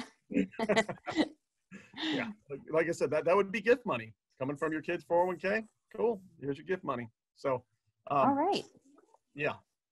Okay. All right. We'll carry on. Um, I'm going to But mute actually, here you know, and one one one point on that. There's certain types of things that you you technically you're not supposed to borrow money for a down payment. So you can take money from things, but it's not supposed to be a loan. So we need to make a, a distinction there. Okay. If you have any questions on that, you guys email me afterwards. great. Okay. Well, all right. We'll go on. And there's no more questions at this point, but I'm sure we'll have more later on. Cool. Um, so it's it's all you, Ryan. Thank you. Let's go. Okay, so uh, let's run through some data real quick. Again, I'm not the guy that believes people have been dreaming about getting a reverse mortgage their whole life. I think we end up here because maybe it's a, a tool, it's uh, something that's going to be used for the job. So let's find out why our tool exists and who's going to need to use our tool, right? Well, we certainly know we have some older homeowners. We have a graying demographic, if you will. Uh, we have 10,000 people today turning 65. That'll happen until the year 2030. And even then, people are turning 65. It's not like it stops at 2030, but uh, we have a lot of, you know, 10,000 turning 65 every day till 2030. Uh, you know, almost 80 million boomers, 56 to 76. Don't forget, a lot of our boomers' parents are still alive, sometimes called the silent generation. A lot of older homeowners, a lot of people older than 56 own homes, way more than 80 million in terms of the people who could, in terms of older people. Okay, a lot of older homeowners in that stat. So this is where we start to get, uh, well, not this is not the fun part of statistics, especially if you're one of these statistics that about 45% of our boomers, they just they haven't been able to save for retirement. And don't get me wrong, this isn't a, uh, a baby boomer problem. This is systemic. I mean, Gen X, we don't have enough saved up. Some, some of our silent generation, it just, it, it's a people problem. But if you are older and you're getting closer to retiring, well, then you're probably a little more concerned about this. So heading into retirement without any savings, that could be, uh, you know, well, it's something that you don't, you're not excited about. And even of the people that do have some savings, 55% of the boomers that have savings, only 20% of them have, you know, something that'd be over 100. Most of them, 20% under 100,000 in savings. That's just not going to do the, the trick, right? Uh, so many, many of our retirees are living off of just Social Security benefits. And 1461 a month, that's not the sweet life. It's a life, but it's a tight one. So when you retire, you retain a lot of your expenses, but you lose a lot of your income.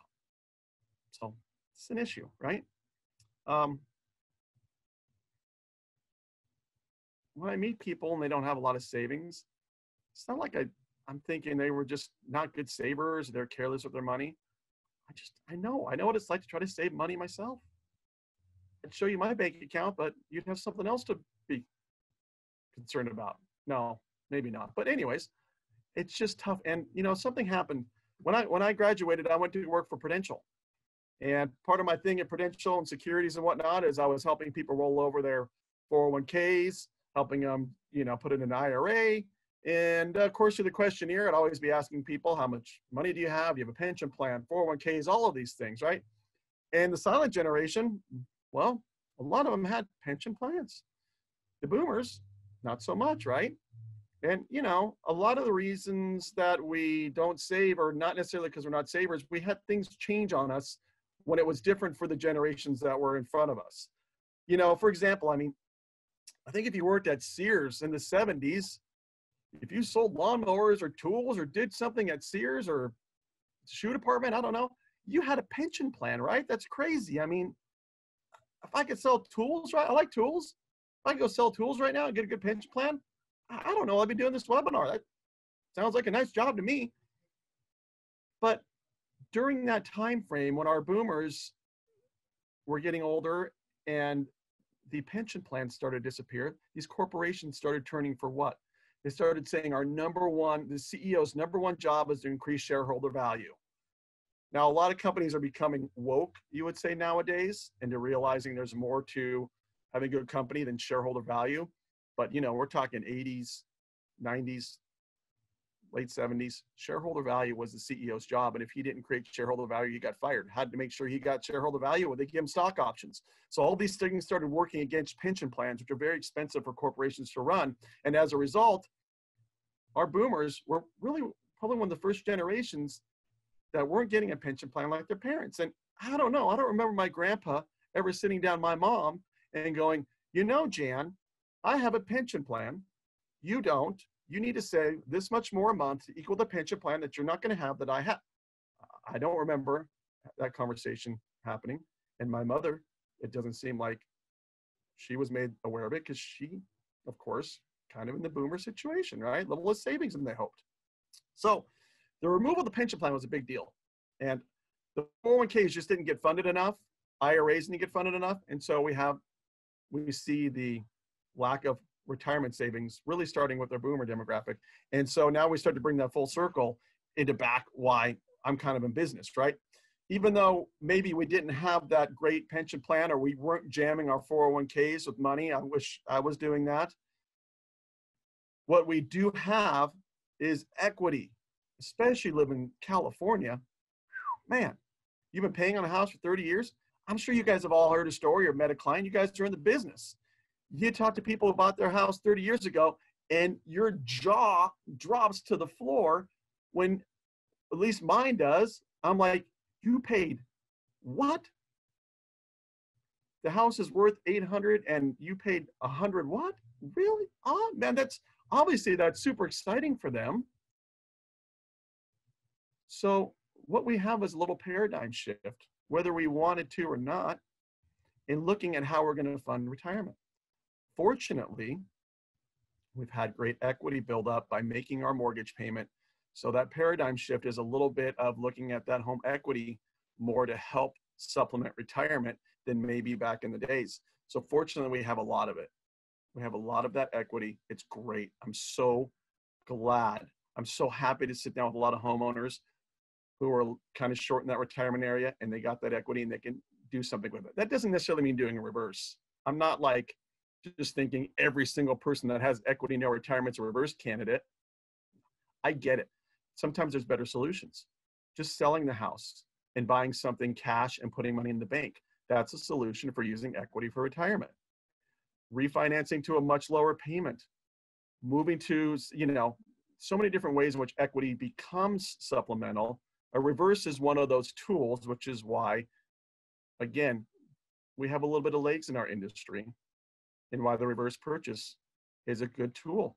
A client that has a lot of equity, sometimes a regular reverse mortgage refinance doesn't get them enough money to stay in the house and refinance and get the cash they need. So they need to sell. And if they want to buy a house, put some money in the bank, and the house they want still needs a loan, then the reverse purchase can fit that bill. So uh, what, what, do we have here? We have 65 uh, Uh, homeowners. Let's see, we got 26 million homes owned by people 65 and older. 68% of those homes, or 17.5 million, are free and clear. Maybe they have no retirement, house rich, cash poor. I'm barely making it by, but all this equity. 7 trillion equity by older homeowners right now. Guess what? When, when, I put this slide presentation together, which was I think 2013, not I, I had an older slide here. I think it was two trillion. We've picked up like five trillion in equity over the about the last six or seven years. Substantial. Let's let it help out.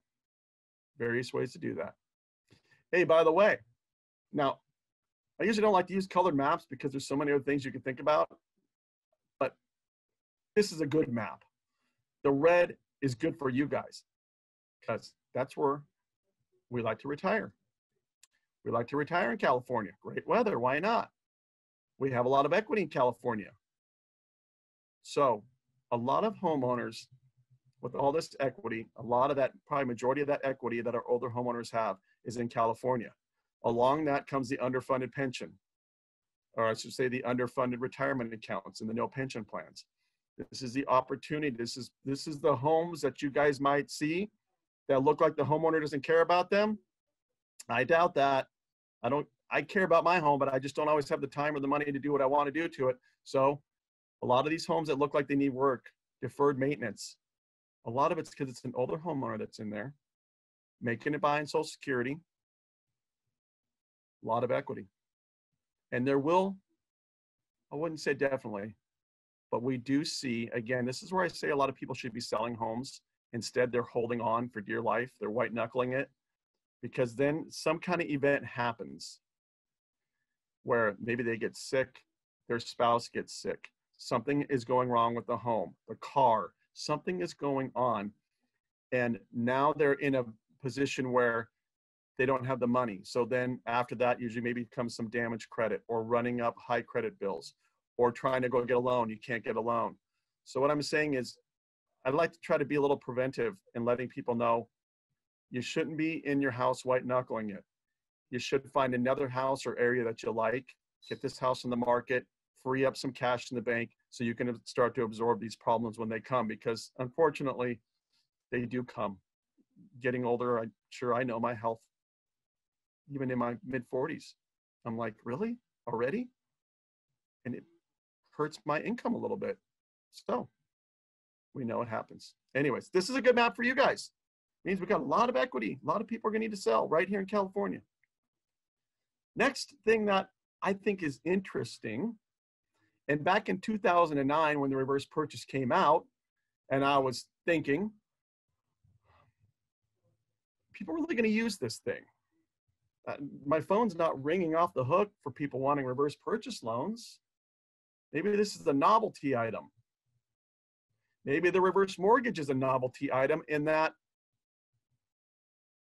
people aren't going to want to use it. Well, with the data that we've seen and how the loan could actually work, in my experience in the last 13 years doing these loans, I know the cases that people are doing these loans. So the next thing I think that was be interesting to know, since I'm talking to realtors a lot, is when would you have a line out your door? When is your phone ringing off the hook with older clients going, you know, even though I don't want to sell my home, I've been here for 30 years, I'm going to sell it. That's kind of an interesting statistic. Statistic. Um, there hasn't been a lot of good data on that. Although the National Association of Realtors, just, they did a great study that just came out last year. And it's the it's a survey basically of home buyers and sellers and ages. And you know, in that, I encourage you to go to their website and download that report. And it cost me a couple bucks, but it's well worth it. In there, what we found is 55% of the people that are selling homes are over 54 years old. So that says something, right? That's saying that decisions are now being made to sell homes. Maybe if it's even not the first choice, the first choice might be to, because the other studies say that people want to age in place.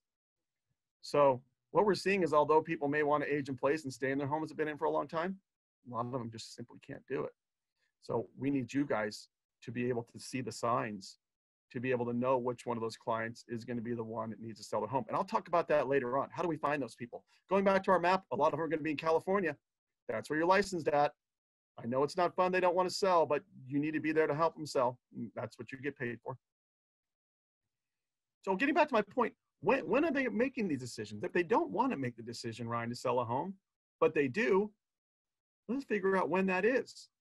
So if we know about 55% of the people that are selling homes are like 54 and older, it's either that or 54% of the people that are selling are 55 and older. Anyways, it's one of those two. Close enough. But when does somebody make a decision? Well, since we don't have very good data on that, we do have data on what the average age of a person is that does a reverse mortgage. And since somebody is usually not doing a reverse mortgage until they've probably decided, oh, this is probably what I need to do, even if I really don't want to do it, that's good data for you guys. And I'll tell you why. Starting about six years ago, the government, FHA, had realized that maybe we were lending too much money to people.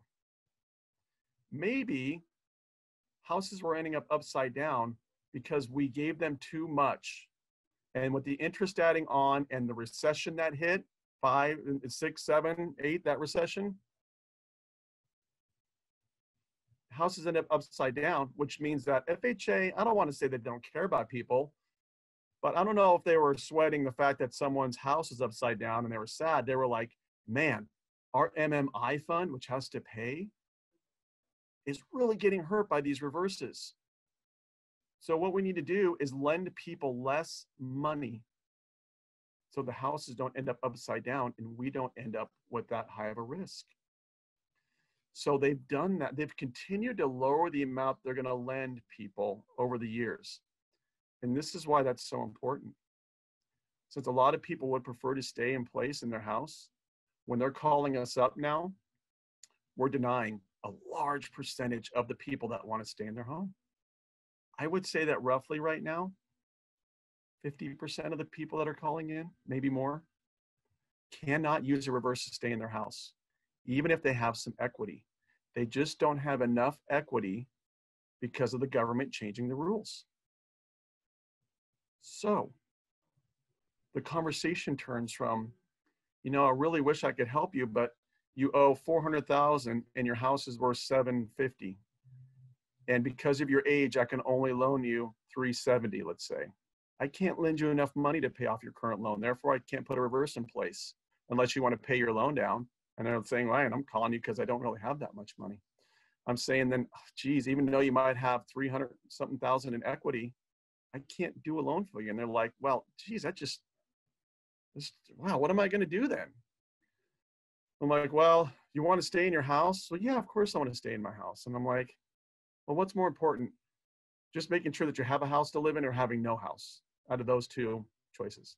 Well, come on, Ryan, that's kind of a dumb question. Of course, I want to have a house that I live in for the rest of my life.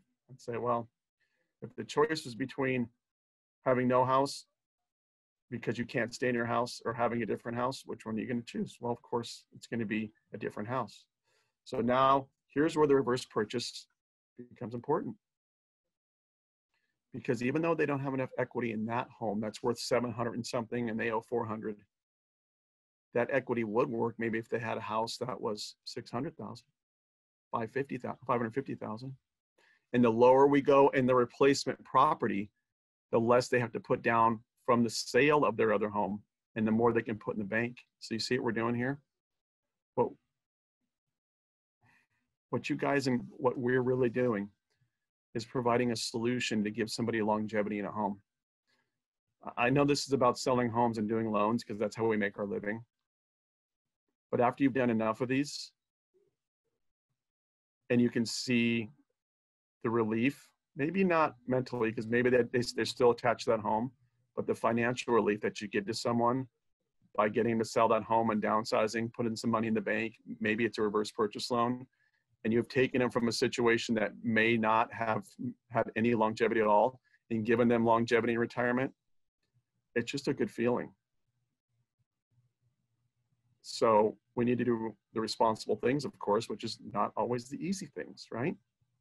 Okay, so looking at my chart here, I keep getting away from my chart. The average age of the person that calls into our company to get a reverse is about 70, mid 70s, 72, 73. So that's really the age that someone's saying, I got to do something. I'm calling these guys because I need some help.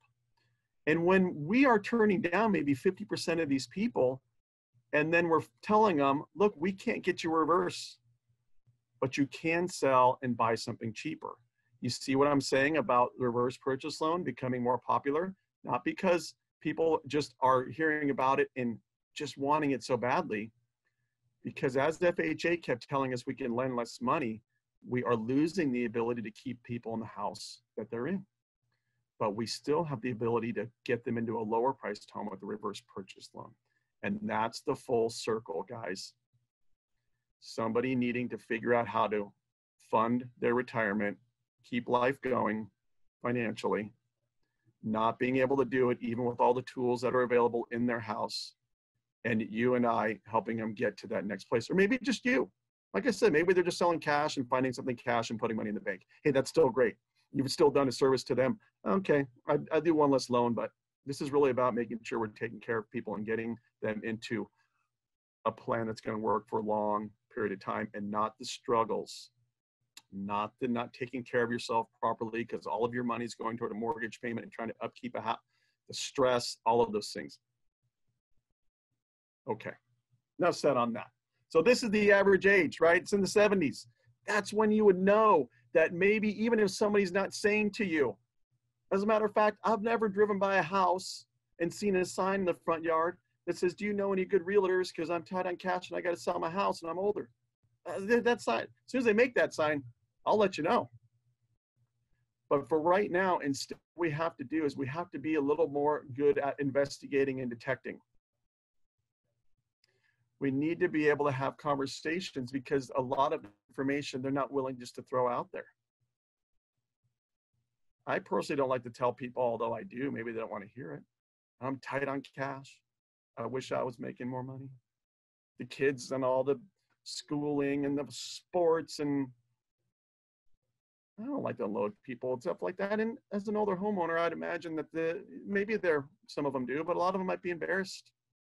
So what this chart is meant to do is to let you know that we have people pulling in their 70s is when we see them in our industry saying, Hey, I'm ready to do something, even if I don't want to. That means it might be selling the home when they don't want to. The chart before that showed we have a lot of older homeowners with a lot of equity. The chart before that showed how we have incomes aren't that great in retirement. You see where this is building to. Largest transfer of wealth. It's happening. Some of that is because houses need to be sold. Let's get to this. Let me see what time it is. I'm gotta get moving on time.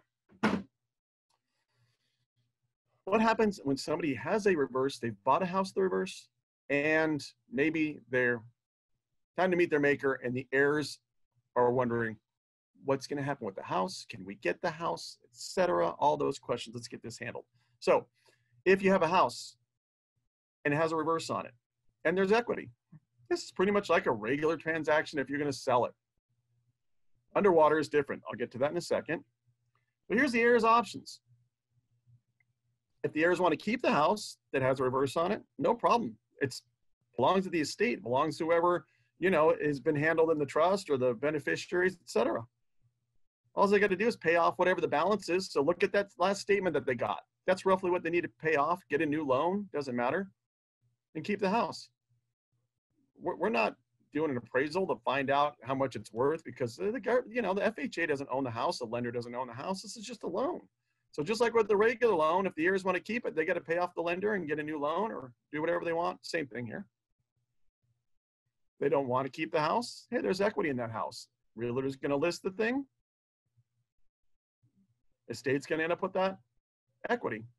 So much like a regular loan here. And you can get 12 months to do this you don't get it automatically. You have to show you're being responsible and trying to get the house sold. But you can get up to a year if you're working on getting that house dispositioned differently. Just got to communicate with the servicer. That's the most important thing. I'm going to take a second to talk about trusts.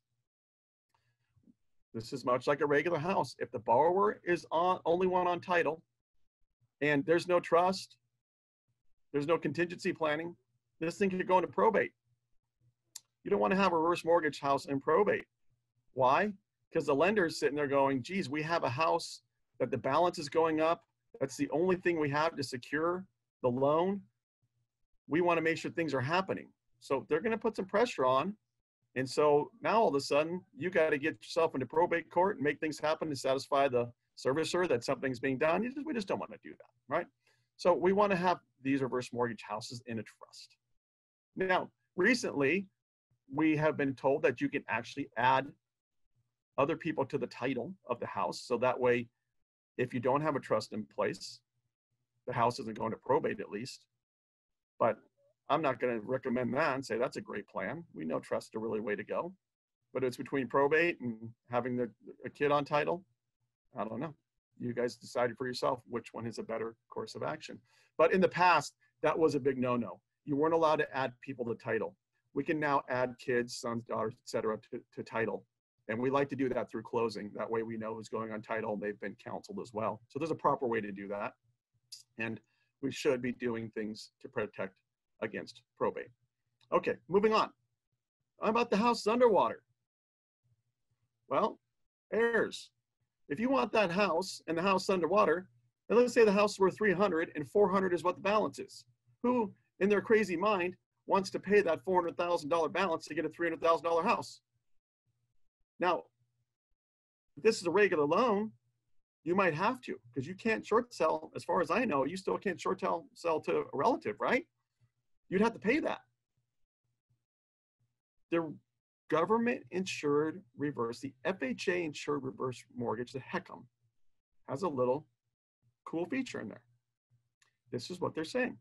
If you come across a house that your relatives have been in, mom and dad passed away, and the house upside down, and you want to keep that house, you don't got to pay the 400.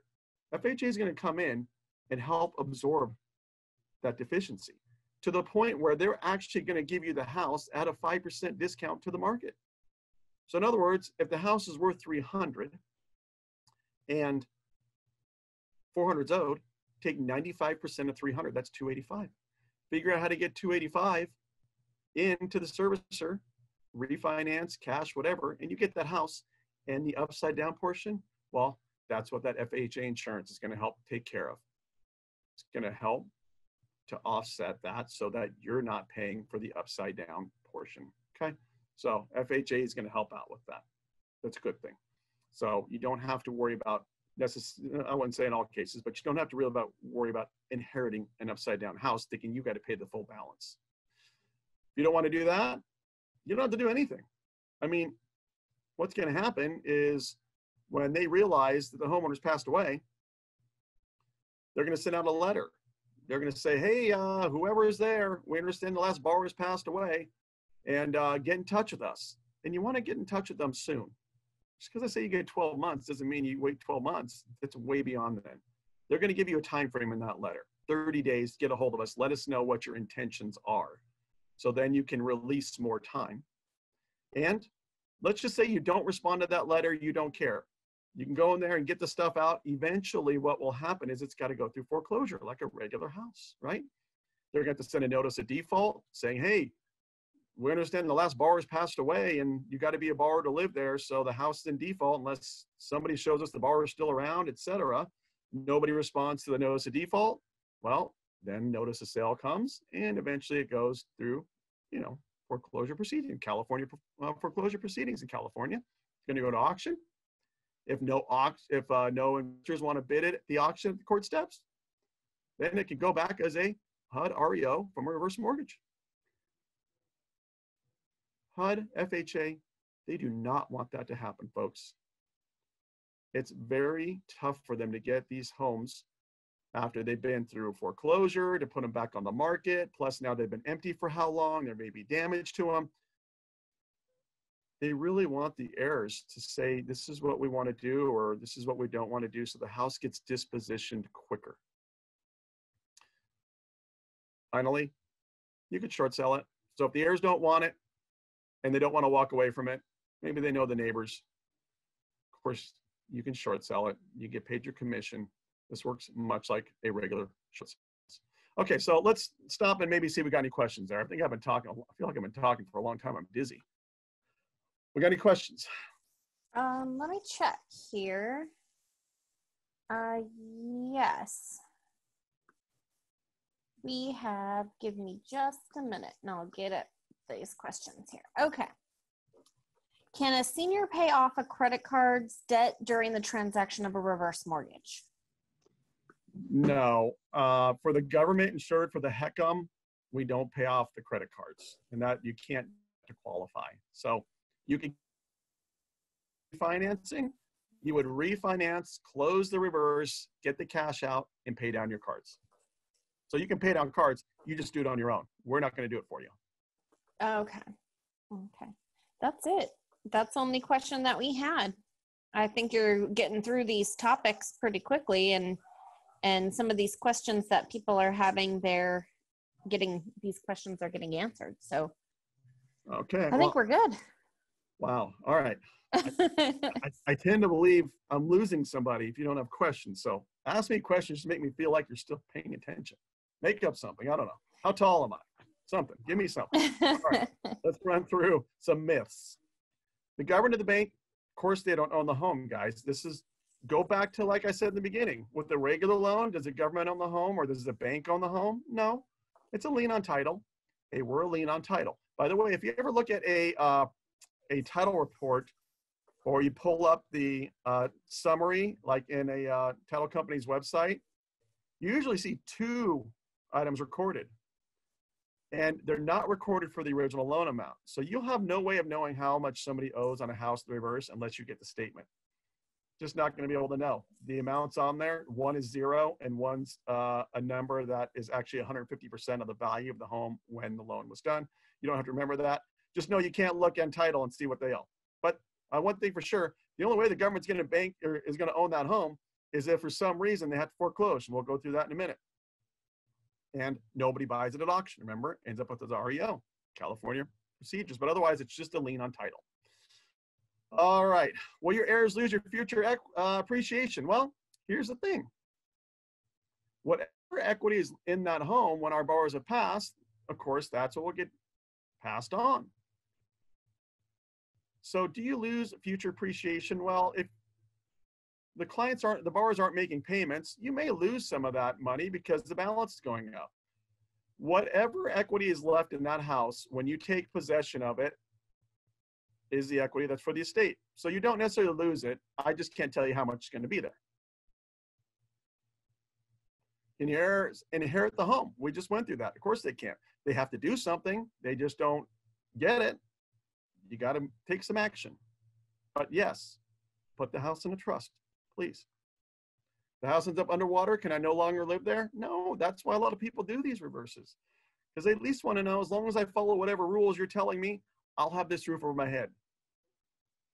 That's why people like the loan. Let's find out how we foreclose, how a reverse mortgage gets messed up. We don't want this to happen. These do happen. I feel bad when I hear about it, but it's because of a rule that we all knew and somebody broke it. Let's start off with residency. Don't you get a reverse mortgage and move out, you now are not owner occupied. You could get foreclosed. You're violating the terms of the loan. But what if I'm sick, Ryan? Okay, good. You can't, not okay, good, you're sick. Sorry, that sounded terrible. Um, if you're got to go to a hospital or nursing home, something like that, you got to go someplace because you're not doing well. You can be gone for a year, okay? And if you get better and get yourself back before that year is up, guess what? You've reestablished residency. You actually go for another year again. So you don't just get one year, you get multiple years. You just can't stack them. You have to make it back and reestablish your residency. You got to get that release paperwork. You got to be able to say, look, here's when I went in and here's when I left. Now, is the servicer going to know that you're gone? They may not know. But that doesn't mean that you shouldn't keep your paperwork in order. Or if you know somebody that has a reverse and they're going into a facility, you want to make sure you get that intake paperwork and keep track of those days because you want to have proof just in case the servicer does know that they're gone. Okay, but there you go. Residency. They want someone living there. And if not, they don't want you gone a long time without ever coming back. Pay your property tax insurance. Here's what I'm talking about. You don't pay your taxes, you're going to end up in a foreclosure situation. And we want you to get caught up real quick. Now, there are some things where, uh, you know, the government does have some rules in place for how you can get caught up. So if you end up in that situation, there are some things that you can do to try to get caught up, but it doesn't mean that you automatically will be approved for that. It has to be certain situations. So the best thing to do, pay your taxes. Same thing with your homeowner's insurance. Same thing with your HOA fees. So remember, we can do that LESA, which is the life expectancy set aside, which is the impound account, but that's only going to pay the tax insurance. It won't pay the HOA. So, and remember, it costs a lot of money up front to start that account. So I would just kind of count on making your tax and insurance payment because you can go into foreclosure. And uh, that did cause a lot of problems for us in the past, a lot of problems. That's why we started checking income. We just didn't want to give out houses anymore, and that people have no chance of ever making tax payment because they don't make enough. That wasn't putting people in a very good situation, and reverse mortgages were doing that for a bit. Maintain the home. What does that mean? There is a list on FHA's website, and uh, it's basically like this if you're going to be living in the house, we don't want health and safety issues popping up. but How, if a window's broken, you're going to fix that. Roof is leaking, you should fix that. Now, they don't go out and inspect, but there are other ways that they find out that something is wrong with the house. Somebody complaining, maybe some type of uh, county or city action because you haven't done something. Um, I, I got to tell you, in my 13 years of doing these kinds of loans, I haven't had a client ever call and say they've received a notice. And I've only really heard about it a couple times the house is in really bad shape. So for the most part, this is what I tell my clients. When you got your reverse, you had an appraisal done and that appraiser checked off and said it meets the requirements. So keep your house in the basic shape it was when you got your loan and you're going to be okay. All right. Uh, let's see. I uh, just want to see if there's any, we're going to go through a, uh, an additional point to know about the uh, occupancy in another slide. Um, this is really how you mess up a reverse, guys. The back in the day, before we changed those property tax, before we started looking at income and doing some things, our foreclosure rate was pretty high.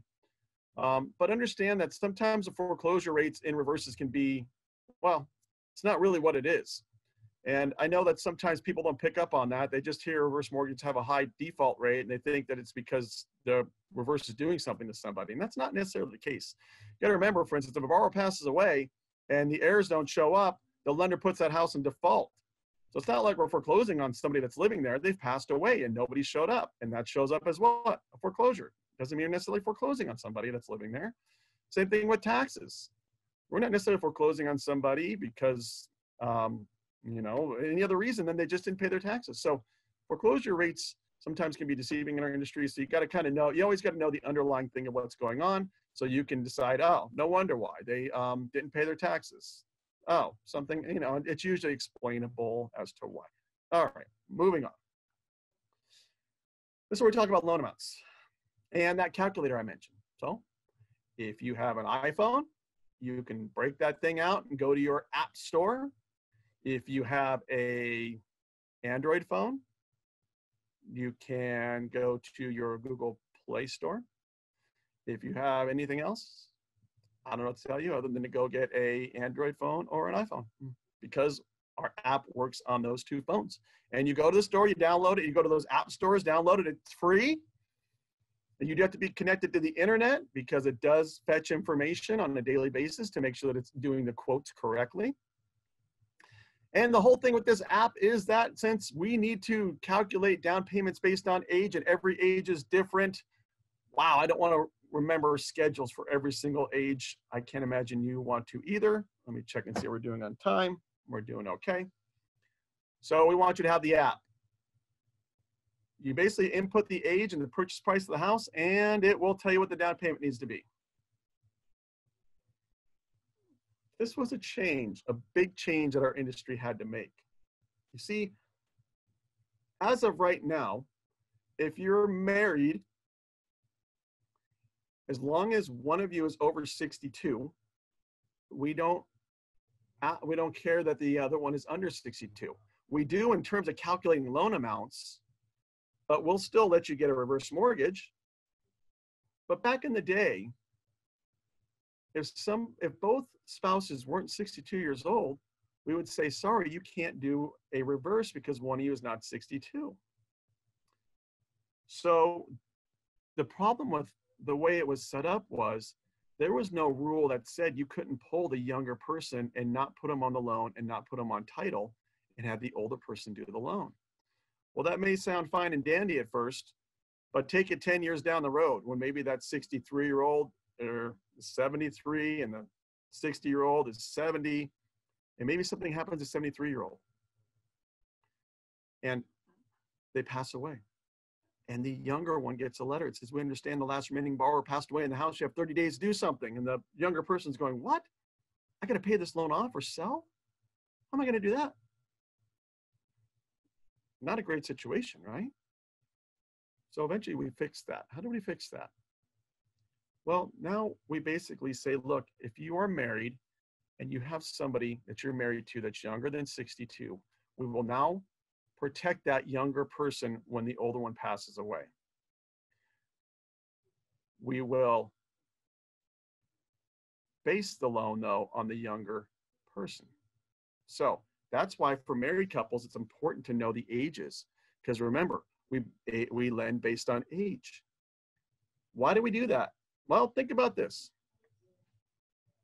If somebody were to get a loan that they didn't have to make payments on, or mortgage, or reverse, and let's say they're 50 years old and they're going to live to 87 i might be bad at math but i think that's 37 years they don't have to make a mortgage payment. Think about all those payments they could miss and add on to the balance right?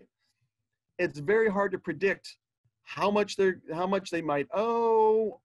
It's hard to predict what the value of the property is going to be.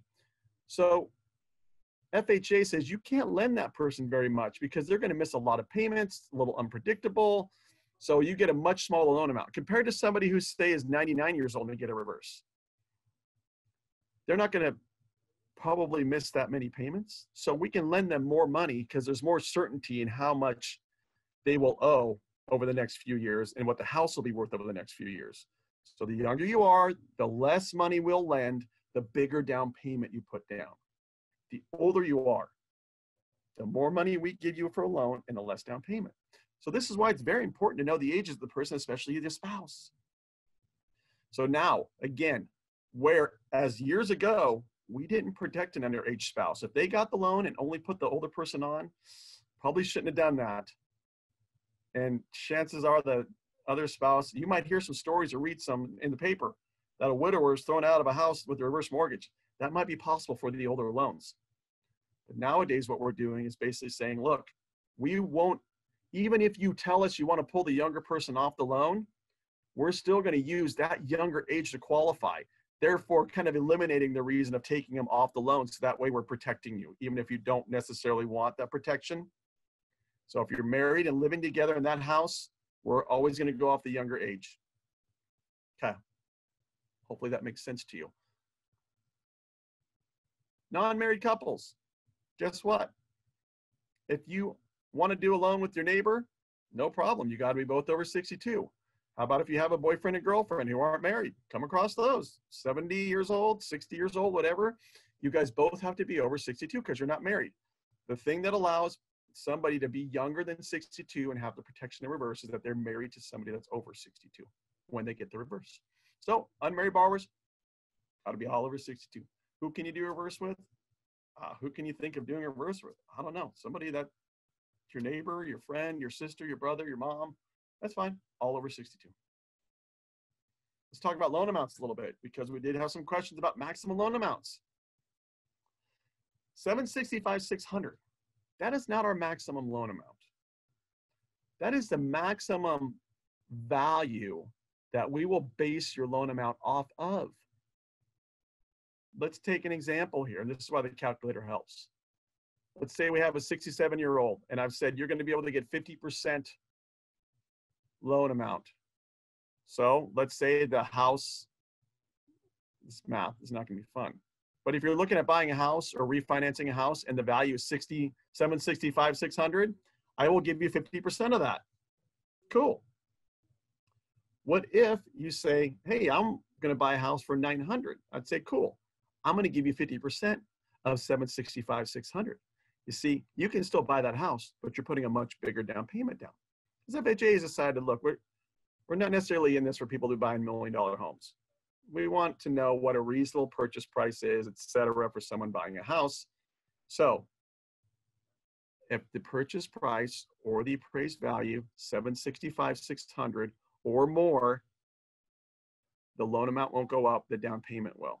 And this is why I tell some people sometimes, I'm like, Ryan, I want to uh, reverse my house. It's worth 900,000. I'm like, you know, I'm only going to give you a loan amount based on 765 and not the real value of your house. And they're like, well, geez, that, that's going to leave a lot of equity in the house I can't get to. I'm like, I know. That's why if you really need the money or you're really planning for your future properly, you should probably sell this $900,000 house and go buy something under 750, so under 765, 600. So you get the full power of the reverse and you get to put some of that equity in the bank. See where I'm going with, even though somebody can qualify for a in their house, I always ask, should they though? And I know I get paid for doing refinances, but I don't get paid necessarily for not telling people that maybe it's a better option to sell.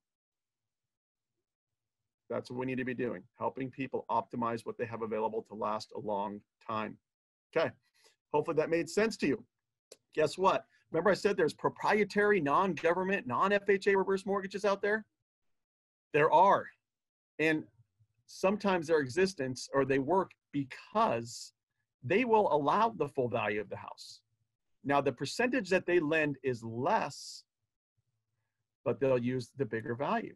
So if you have somebody that wants to buy a $1.2 million house, the HECM loan, the government HECM loan is not going to be the one they choose. They're probably going to want to use that proprietary, sometimes called a jumbo reverse, because they may get more money.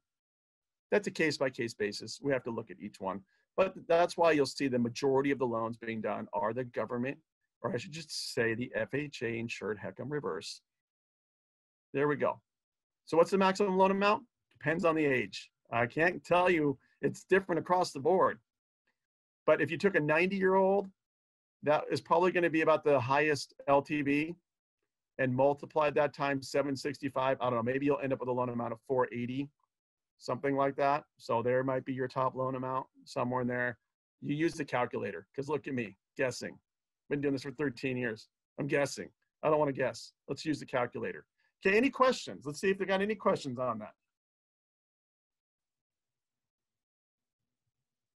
No, no questions on that, but we do have a few questions um, out there. Do you want to field those questions right now? Uh, yes, you- before I move on to the next, the marketing Okay. topic. So says, can you sell a home from a child to a father and have the parents do a reverse mortgage? Yes. You're not really selling it. You, it's just really a transfer of title. And uh, so we do allow that. And can title be held in a trust? Absolutely. Uh, hopefully you caught the last slide. You don't want to be holding well, any house out of trust, but especially a reverse because the person's going to be older, better chance of them passing away. We don't want probate and reverse mortgages at the same time. It's not fun. So get those trusts done. Okay, and that's it so far. Okay. Well, let's move on to some marketing stuff, guys. Um, like I mentioned in the beginning of the video, uh, my existence kind of depends a little bit on doing loans. Until somebody wants to pay me to teach all day long, let me know if anybody out there wants to do that. I got to get some loans done. In order for me to get some loans done, I have to help. We're kind of in this together. I want to help you guys find some listings so maybe that generates a purchase loan for me, right? So we're team, we're team listings and loans. And I want to share with you the things that have helped other agents get listings. And also, I want to provide you with a follow up helping system. Okay. Now, we're in a little bit of a beta situation with this system we just put together this year.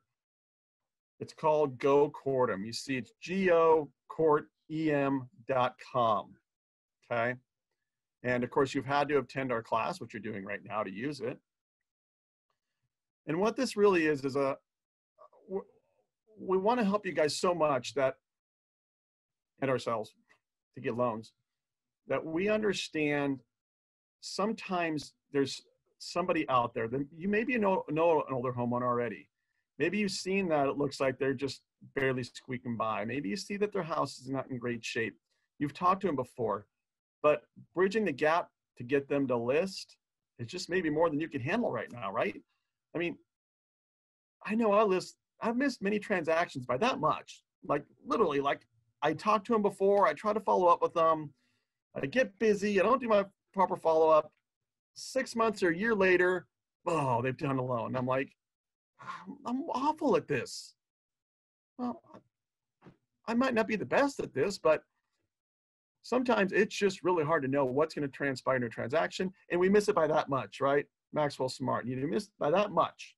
So we want to give you a little bit of help as much as we can. This system is designed where if you know that person, you've talked to that person, you kind of got the idea that I think they got some equity. It looks like they're really tight on money. This, is something that maybe they should probably sell. What you want to do is you're going to go to Go Courtem and you're going to put their name and address in there. And what are we going to do? Well, we're going to give them information about other homeowners that have listed older homeowners and talk about why they should do this. So we're going to send them out newsletters. If you have their email address, we'll send them out emails. We'll mail them for you. Not a bunch of them, right? Because this is in beta and we just want to try to see if we can turn some soil for you guys, help you get that transaction that was this close. So, for instance, that homeowner now that you've identified and put in the system, they're going to get newsletters. First month newsletter is going to be something like, did you know that if you did want to move your home, you can use Prop 6090 to transfer your taxes so you don't have to take on a new, you can keep your low tax rate. Uh, another article in there, which I think is a great one that we've written, is about why they need to be so careful with these cash buyers. Are these cash buyers that are knocking on their doors that, you know, because some of these guys are the guys that want to buy a house at 50 cents on the dollar. And they're making it sound great. Oh, you, yeah, we'll give you cash. You don't have to worry about paying an agent. And we know they're not getting the most money for their house. So one of the articles in that newsletter is be cautious of cash buyers. Uh, other articles in there, how would you like to be able to buy a home and have an optional monthly mortgage payment? Why not throw an article in there about that? So that would be like the first newsletter. Second month, we have a letter that comes from your desk. By the way, this stuff is coming from you guys, from the desk of your realtor. Uh, did you get that newsletter last month? What did you think about the article on taxes or cash buyers? Trying to get them to just say, yeah, maybe that one was interesting. If they don't respond to that, month three, they get another newsletter. This newsletter talks about how maybe older homeowners have gone to retirement communities and they love it and they thought they were going to hate it. Another article might be like I talked about before, which is don't wait too long to make a decision because you may put yourself in a financial position that you don't want to be in. Like if you wait too long to sell your house and something happens and now you fall behind on taxes or credit, something credit obligations, it may hamper you from getting into the place you want to. Don't let that happen to you. So all these articles are really written to help the person that we know might be a little bit on the edge to make them realize there's options out there and look at these some of these options are great help loosen it up. So we'll do that for six months. We'll basically just kind of court them for you for six months. Steve it might turn into a listing for you guys. Anyways so that's go court them now let's talk a little bit about um, who you might want to know who might be on the edge of needing to sell. And again you guys are going to have access to our video library. And the reason why that's important is because we don't just put this stuff out there for you guys. We, we talk the talk, we walk the walk. Um, one of the things that we do is we kind of try to embody you guys a little bit. Does that sound weird? I don't know. I don't want to embody you, but uh, I want to do what you guys do to see how I'm going to help you get that next house to list with an older homeowner. So one of the things we do is we prospect as if we're a realtor looking for a listing. And we prospect based on our history and our knowledge of other homeowners that have listed and sold and bought because of all the parameters. So they're older, they needed cash, etc. So we take what we have learned over the last 13 years and we prospect based on that. And we want you guys to be able to do the same. So we do videos of us actually out prospecting and using tools you guys can do the same thing we do. And one of the videos has crazy results that you, you got to watch the video. It's spooky almost. But this, outside of the Go Courtem software, which is just kind of a follow up software, you can put a client in there and maybe that will help follow up with them.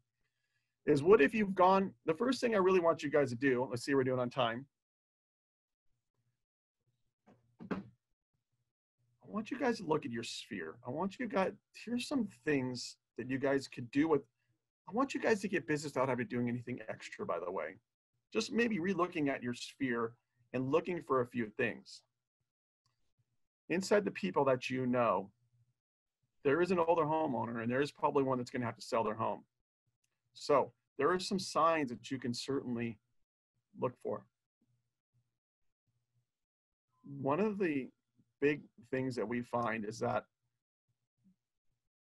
older homeowners are selling their homes or looking for reverse mortgages because it, their spouse has fallen ill or passed away.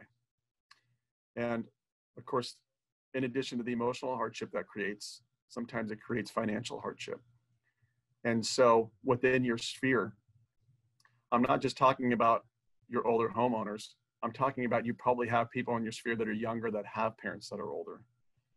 And you should definitely be making sure that you are having open dialogues or just even if you're sending emails to them or a card saying, by the way, how are, how are mom and dad doing? Course, you're doing this because you care, but you also want to make sure that you know what is going on. If one of them's having, not doing so well, you got to understand that one way or another, that house is probably going to come to market. So let's make sure that you're the one that's going to be there to help them. And that's a big sign. Spouses not doing well is a big deal in our industry of why homes go on the market and why people get reverses. So that's one thing you can do inside your own sphere already. Just make sure you're talking to the younger homeowners or your younger friends that have parents and also your older homeowners that you already know and you're just checking in with them. How's your spouse doing? How's John? How's Sally doing? How's everybody doing? Everybody doing okay? You got to be there because it's just a matter of time. All right, so that's checking your sphere for those things.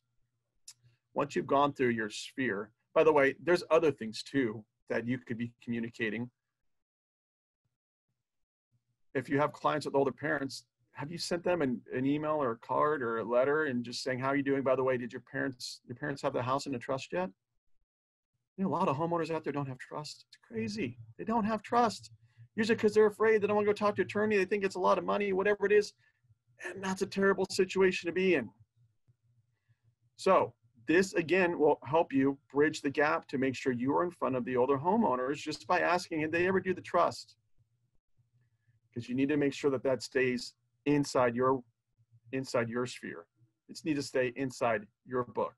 Trusts and health, talking about those things. Now, after you've made sure that you're keeping good contact with the people in your sphere, maybe you want to know where some of these older homeowners are that are going to be popping on the market and you don't even know them and you don't know anybody that knows them, but you want to be the one to get the listing. That's what I want. I think those are the funnest ones. Of course, it's nice to get the referrals. I mean, right? It's great. awesome. But isn't it fun when you just kind of get something out of sheer like, man, I got that because I did something and it was an effort and boom, here it is. And it turned into, I love it, man. It gets me going. Let's help you pick out one of those. Here's how we can help you. So we know that older homeowners that have mortgages that are retired are definitely already in a different class where they have a mortgage payment every month and they're having to parse some of whatever they may be bringing in to pay that payment. So why not ask ourselves who's older that has a mortgage and doesn't make that much money right out of the gate? That's a possible client. Now you can start layering some other things on there. What if they're behind on their taxes? That's public data. An older homeowner's behind on their taxes, that's probably not a great sign. You need to know everybody in your area, in your neighborhood, you know, everybody that is within a few miles of where you live and work that's older, that might be, well, just even if they're not older, that's in tax default, right? Something's going on there. So there's software out there that helps us do this. There's a couple different softwares. How are we doing on time? 20 minutes. Hang in there. We usually eat after class, but I think today I'll just eat and then you can watch. No food today. But we're going to talk about two softwares and then get you out of here. First one, Title Pro 24/7. What this, what they are is a data aggregation company. They were actually recently bought by Fidelity but they aggregate data. So all that data that's out there, you know, I, I believe the number is like companies like companies that aggregate data have like a hundred points of data on, on most homeowners. Isn't, can you believe that? They, oh, they know like a hundred things about you. So unfortunately, a lot of that happens without us even necessarily wanting it to happen because some of it's just public record. Some of it from something you might have filled out and didn't realize you filled it out some type of behavior, something, you bought something, you filled something out and you didn't realize it said at the bottom, this is going to be used for future marketing purposes. So they have this data. So why not make this data useful for you? Title Pro 24 7 aggregates that data and now gives it to us as individuals. Even if we want to buy one record, we used to have to buy these things by the tens of thousands. But now they've made it so that an individual can get just as 10 records. So for your own neighborhood. It'd be nice to know more about the neighbors. Okay, so you go into Title Pro, right? And I don't have the time to bring the software up. Sometimes in the live class I do. But basically, we will give you logins. One of the things that we will do since you've attended the class here is we're going to get you set up with logins for Title Pro 24 7. And when you're in Title Pro, what you're going to be doing is you're going to be feeding it information. By the way, we have a video on this. So one of the things you're going to be able to watch on our videos is how to work this software because you want to know. And then what we do is in the videos, after we pull the data, we go visit the homes.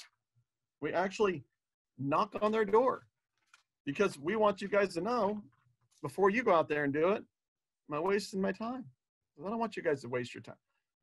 I'm super worried about your time. I'm worried about my time. We only have so much time in a day. I mean, I don't want you guys to go off on a wild goose chase. I want you, I want to spend time as wisely as we can. So that's why we invest in doing things ourselves and you guys watch. If it doesn't look like it works, it's not going to work for you, then you know. You've seen us do it and you're like, okay. But when it works, you might say, I can do that.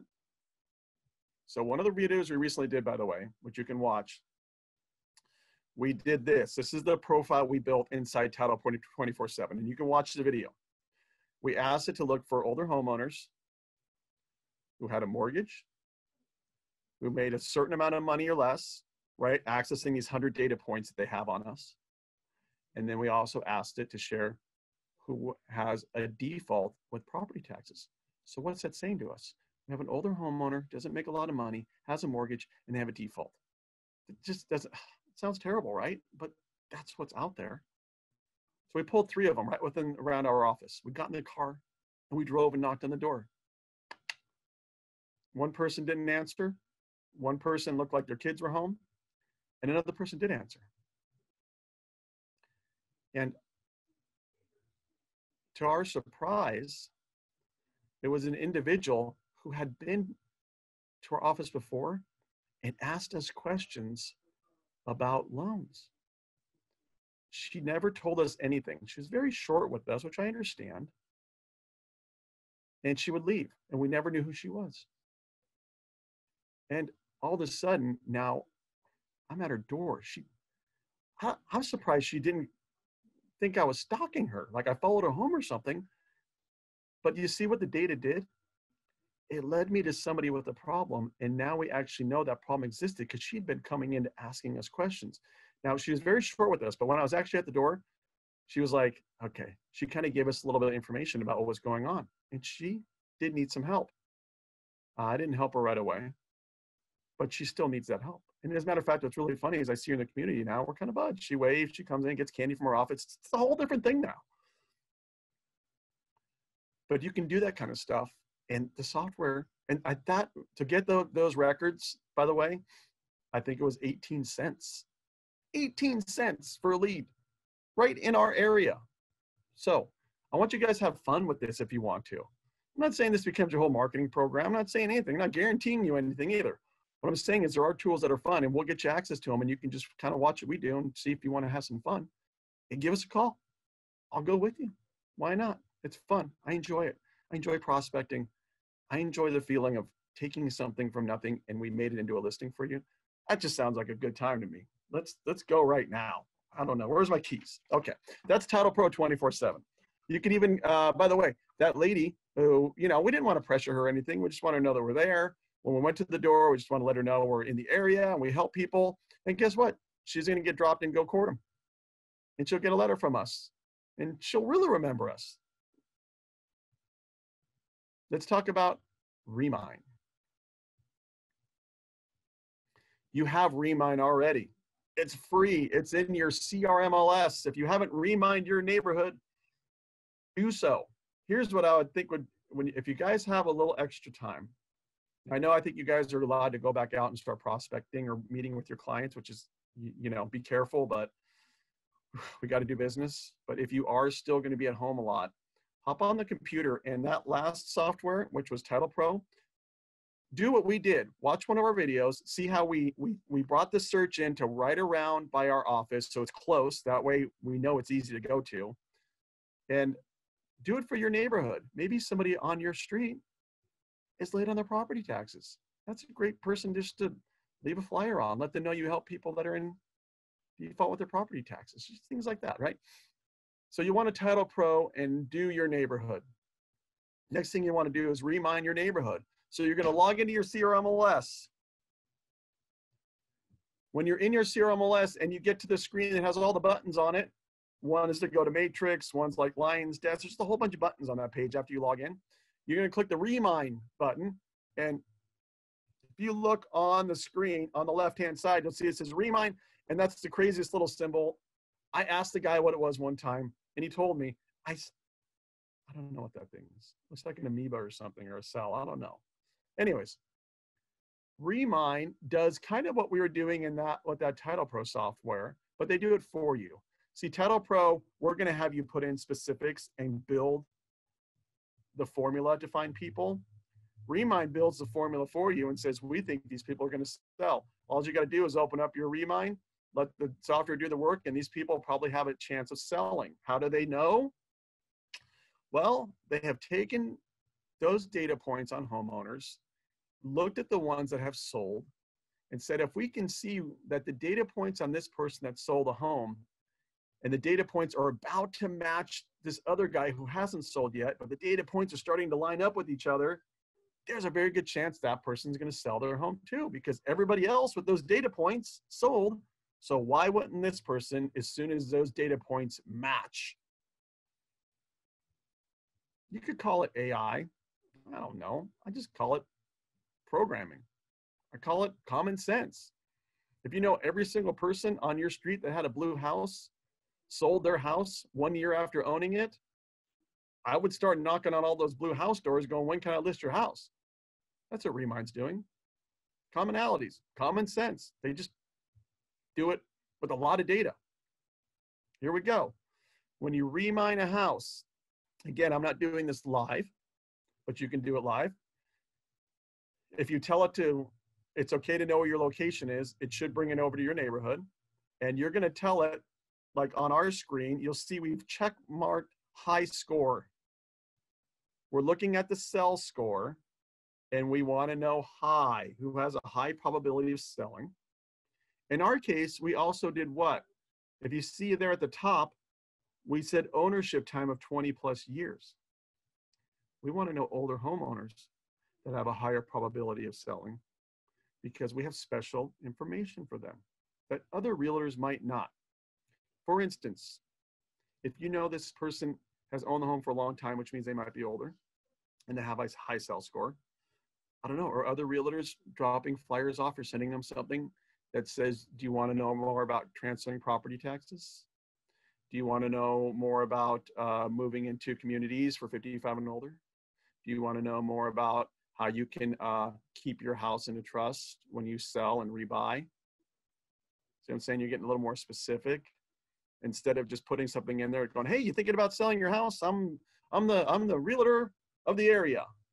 Compared to what you might put in front of them, it says, if you're thinking about selling your home, just want to let you know there's a way you can keep your taxes low. There's a way that you can still have your house in a trust to protect it from probate. But like things that are more like towards what they're thinking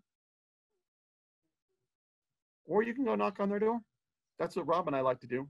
We like to go just meet the people. Be to the street, meet the people, see the faces, and then send them something after you meet them. So your retention rate is good. And that's why we always talk about doing stuff local. Like, I'm not going to do this in LA on this software. When am I going to get to LA? I'm not even going to do it in one city over. I find too many reasons not to do it. I really do. So, but if I do it in my own street in my own neighborhood, and I know that either the Go, the Title Pro, the other software, or mine has identified somebody has a pretty good chance of selling in my own street. If I was a realtor, and I didn't make the effort, that, that's just me. That's just you got to do that, right? It's on your own street. Two cities over, I ain't gonna do that. Too many other things for me to do. And uh, they're on my own street. I should at least get up and take a walk and try to catch them outside or just introduce myself if I haven't. Maybe you already know them. Maybe, how many times have you known somebody, maybe not great, but you kind of know them, and then you've learned they sold their house and you weren't the realtor chosen? I don't know about you guys, man. I take stuff, I, I probably take stuff more personal than I should. When somebody I know does a loan, like even a friend that I was good friends with, and I found out they did a loan. They didn't use me.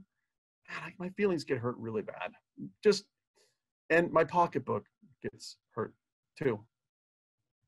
So use these tools, if nothing else, to make sure the people that are closest to you that should use you, if nothing else, because you're they're your neighbor, they're on your street. Now, I'm not a guy that is very entitled, But if someone's going to do a loan on my street, I think I deserve that just for living on the same street. Just because I chose to live on the same street with them, I want that loan. If you live on the if you live on the same street with somebody in your realtor, you put up with them being neighbors for how long? You deserve to get that listing. Don't let it go anywhere else. Use these tools. Use us. Reach out to us. We need loans. You need listings. We're happy to help you guys sort through some of these things. We're happy to try to figure out which ones might be the next hot one to go on the market. All right. Questions? Oh yeah, we've got several. Okay. So, um, can you can you tell the name of the app again? Um, couple questions on the app. Yeah, I didn't even say the name of the app. That's how bad I am at my job sometimes. It's it's uh, R for P. So if you go, let me go back to that slide. Okay. Okay. R for P. See at the bottom there? R E V, the number four P U R. So when you go to your app store, type in R E V 4 P U R and search in your app store. Don't do it in your browser. Don't do it like Safari or Google Chrome. You got to be in the app store to download it. And if you're not connected to the internet, it won't work either because it's got to be able to come to our office and get the correct loan amount. There, there, might be other apps out there that do this thing. I can't guarantee that whatever you're getting from them has been updated. We make sure that our app updates when you open it up. So there you go. That's how you find it. Well, um, the age limit for reverse mortgage was it lowered to 60 years? There is a 60 year old product out there, but as a matter of fact, it's not there anymore. So this was the thing when you have these private products that are not government insured, FHA insured HECMs, they come and go because these are private investors that are really the risk is all on them. So they pop up, they're here for a while, sometimes they're good and they go away. So we used to have a reverse mortgage that came out a couple years ago that allowed a 60 year old to do it. That thing's gone for now. So we're at 62 again. Okay, but so it's back remember, at 62. Yeah, but if you have a spouse, listen, if you're 58 years old and you want to reverse real bad and you're not married, the only thing I could tell you, and this is not great advice, by the way, marry somebody over 62 and then you get a reverse and a spouse. um, someone wanting to know if the webinar was recorded. Yes, we are recorded. Um, it's going to be viewed on cvar.live. You can go and see the replay on cvar.live. Um, give us a couple days. Steve is our media specialist and he's got a lot of stuff going on right now. So give him a couple days. Check back Monday or Tuesday of next week, um, the 6th or 7th of April, for that recording so again, it is recorded. Yes, it's going to be at cvar.live. Uh, check back Monday or Tuesday for the recording. Okay. Um, can you put the step two up on the screen, please? So step two for your marketing. Step one is gocourtem.com. And so, then. Yeah, so what will happen with Go Courtem is when you first sign up, it just acknowledges you've signed up and it shows you the materials, right? Because uh, we would never dream of sending something to somebody that you haven't approved. Now, that doesn't mean you tell us you want to make changes. It kind of is what it is. But at least you see what's going to be sent. If you got to get it signed off by somebody, and then after that, you go back in and put the people's information in for it to go out too. So it's a couple of steps you got to do for it to start working. And we're limiting it to just one per person right now because uh, it's expensive actually. I mean, it, it's cost us probably 25 bucks a piece for someone you put in here to chase them down for six months. So we are beta testing to see how this goes. And this is step number one. Can you, what's the next slide? Next or slide. Step number two. This is the title pro. So this isn't Go Courtem. This is where if you want to find some more people that may need to sell, based on what we tell you the characteristics are, or you could put your own characteristics, then you could find people. So this is where I kind of recommend, if you can get to our other short video, I actually pop this thing open and I talk about, Rob and I talk about how to make this thing work, how to click buttons, how to get something out of it. I just can't do it on this webinar. Okay. And then um, they want to know if you have specific classes to help with this Title Pro. Everything for the Title Pro right now is just done through our videos, or you know, next time we do a class at CVAR, come down so that we can do it for you in person. Okay. Um, I don't know what that means. Will this be for one person or a farm? I don't know what that means. Okay. No, I don't know exactly So- what I mean. Yep. Oh, it's okay. literally just for one person right now. We, we can't, we have to get loans to obviously pay for these things to work. So we're beta testing to see if it gets listings, if it gets loans, just what kind of stuff gets generated from prospecting with this tool. So right now it's, it's very limited in scope right now. Okay. Oh, they explained, so we got it. um, do you have content in Spanish for clients who speak Spanish? You know, unfortunately, we don't. And the disconnect there is that our loan docs are in English. And until we know we can do loan docs in Spanish, we're just concerned about marketing something one way and delivering a product in another. We don't know, you know. So you just have to stay track on that. Whatever the laws are, whatever the rules are in lending, is traditionally what we try to follow, and we try to keep updated on that. But the answer to the question is we do not currently have anything uh, in Spanish. Okay. And then, um, speaking- sorry, Nancy, we have Spanish speaking loan officers, though, oh, okay. Spanish. Okay. That's good. Um, and then the page, they want to know if you can re-put the page on amortization sheet and the page at the beginning back up on the screen, just real quick.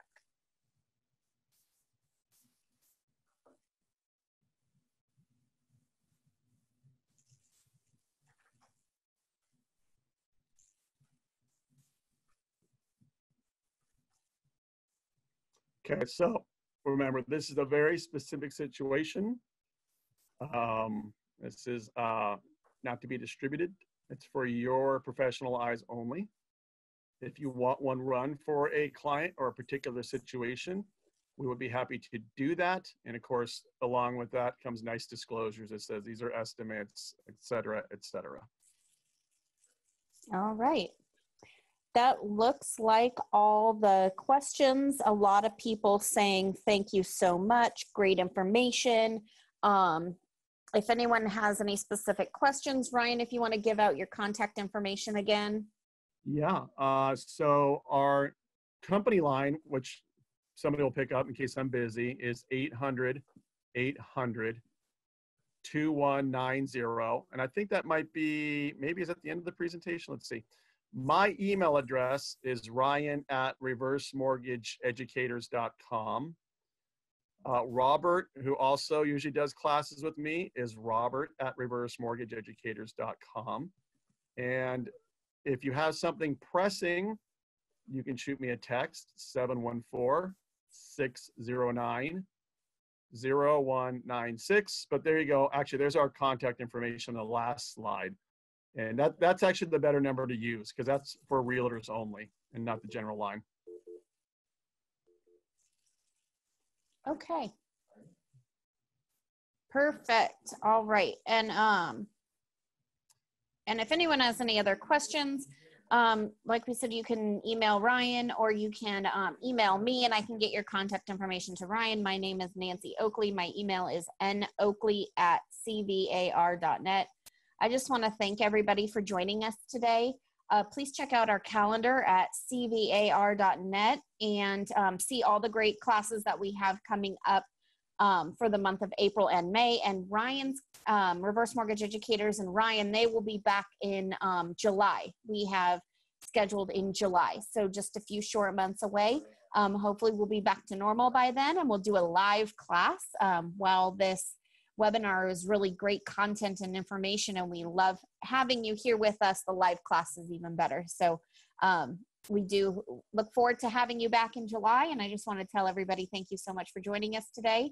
Um, we hope that you stay well, and um, we look forward to seeing you in one of our live classes at CVAR when we're back back to the normal. So, thanks so much, Ryan, for joining us today. We really appreciate your time. Yeah, thank you so much, guys, for letting me take a few hours a day today. Really appreciate it. All right, everyone. Bye.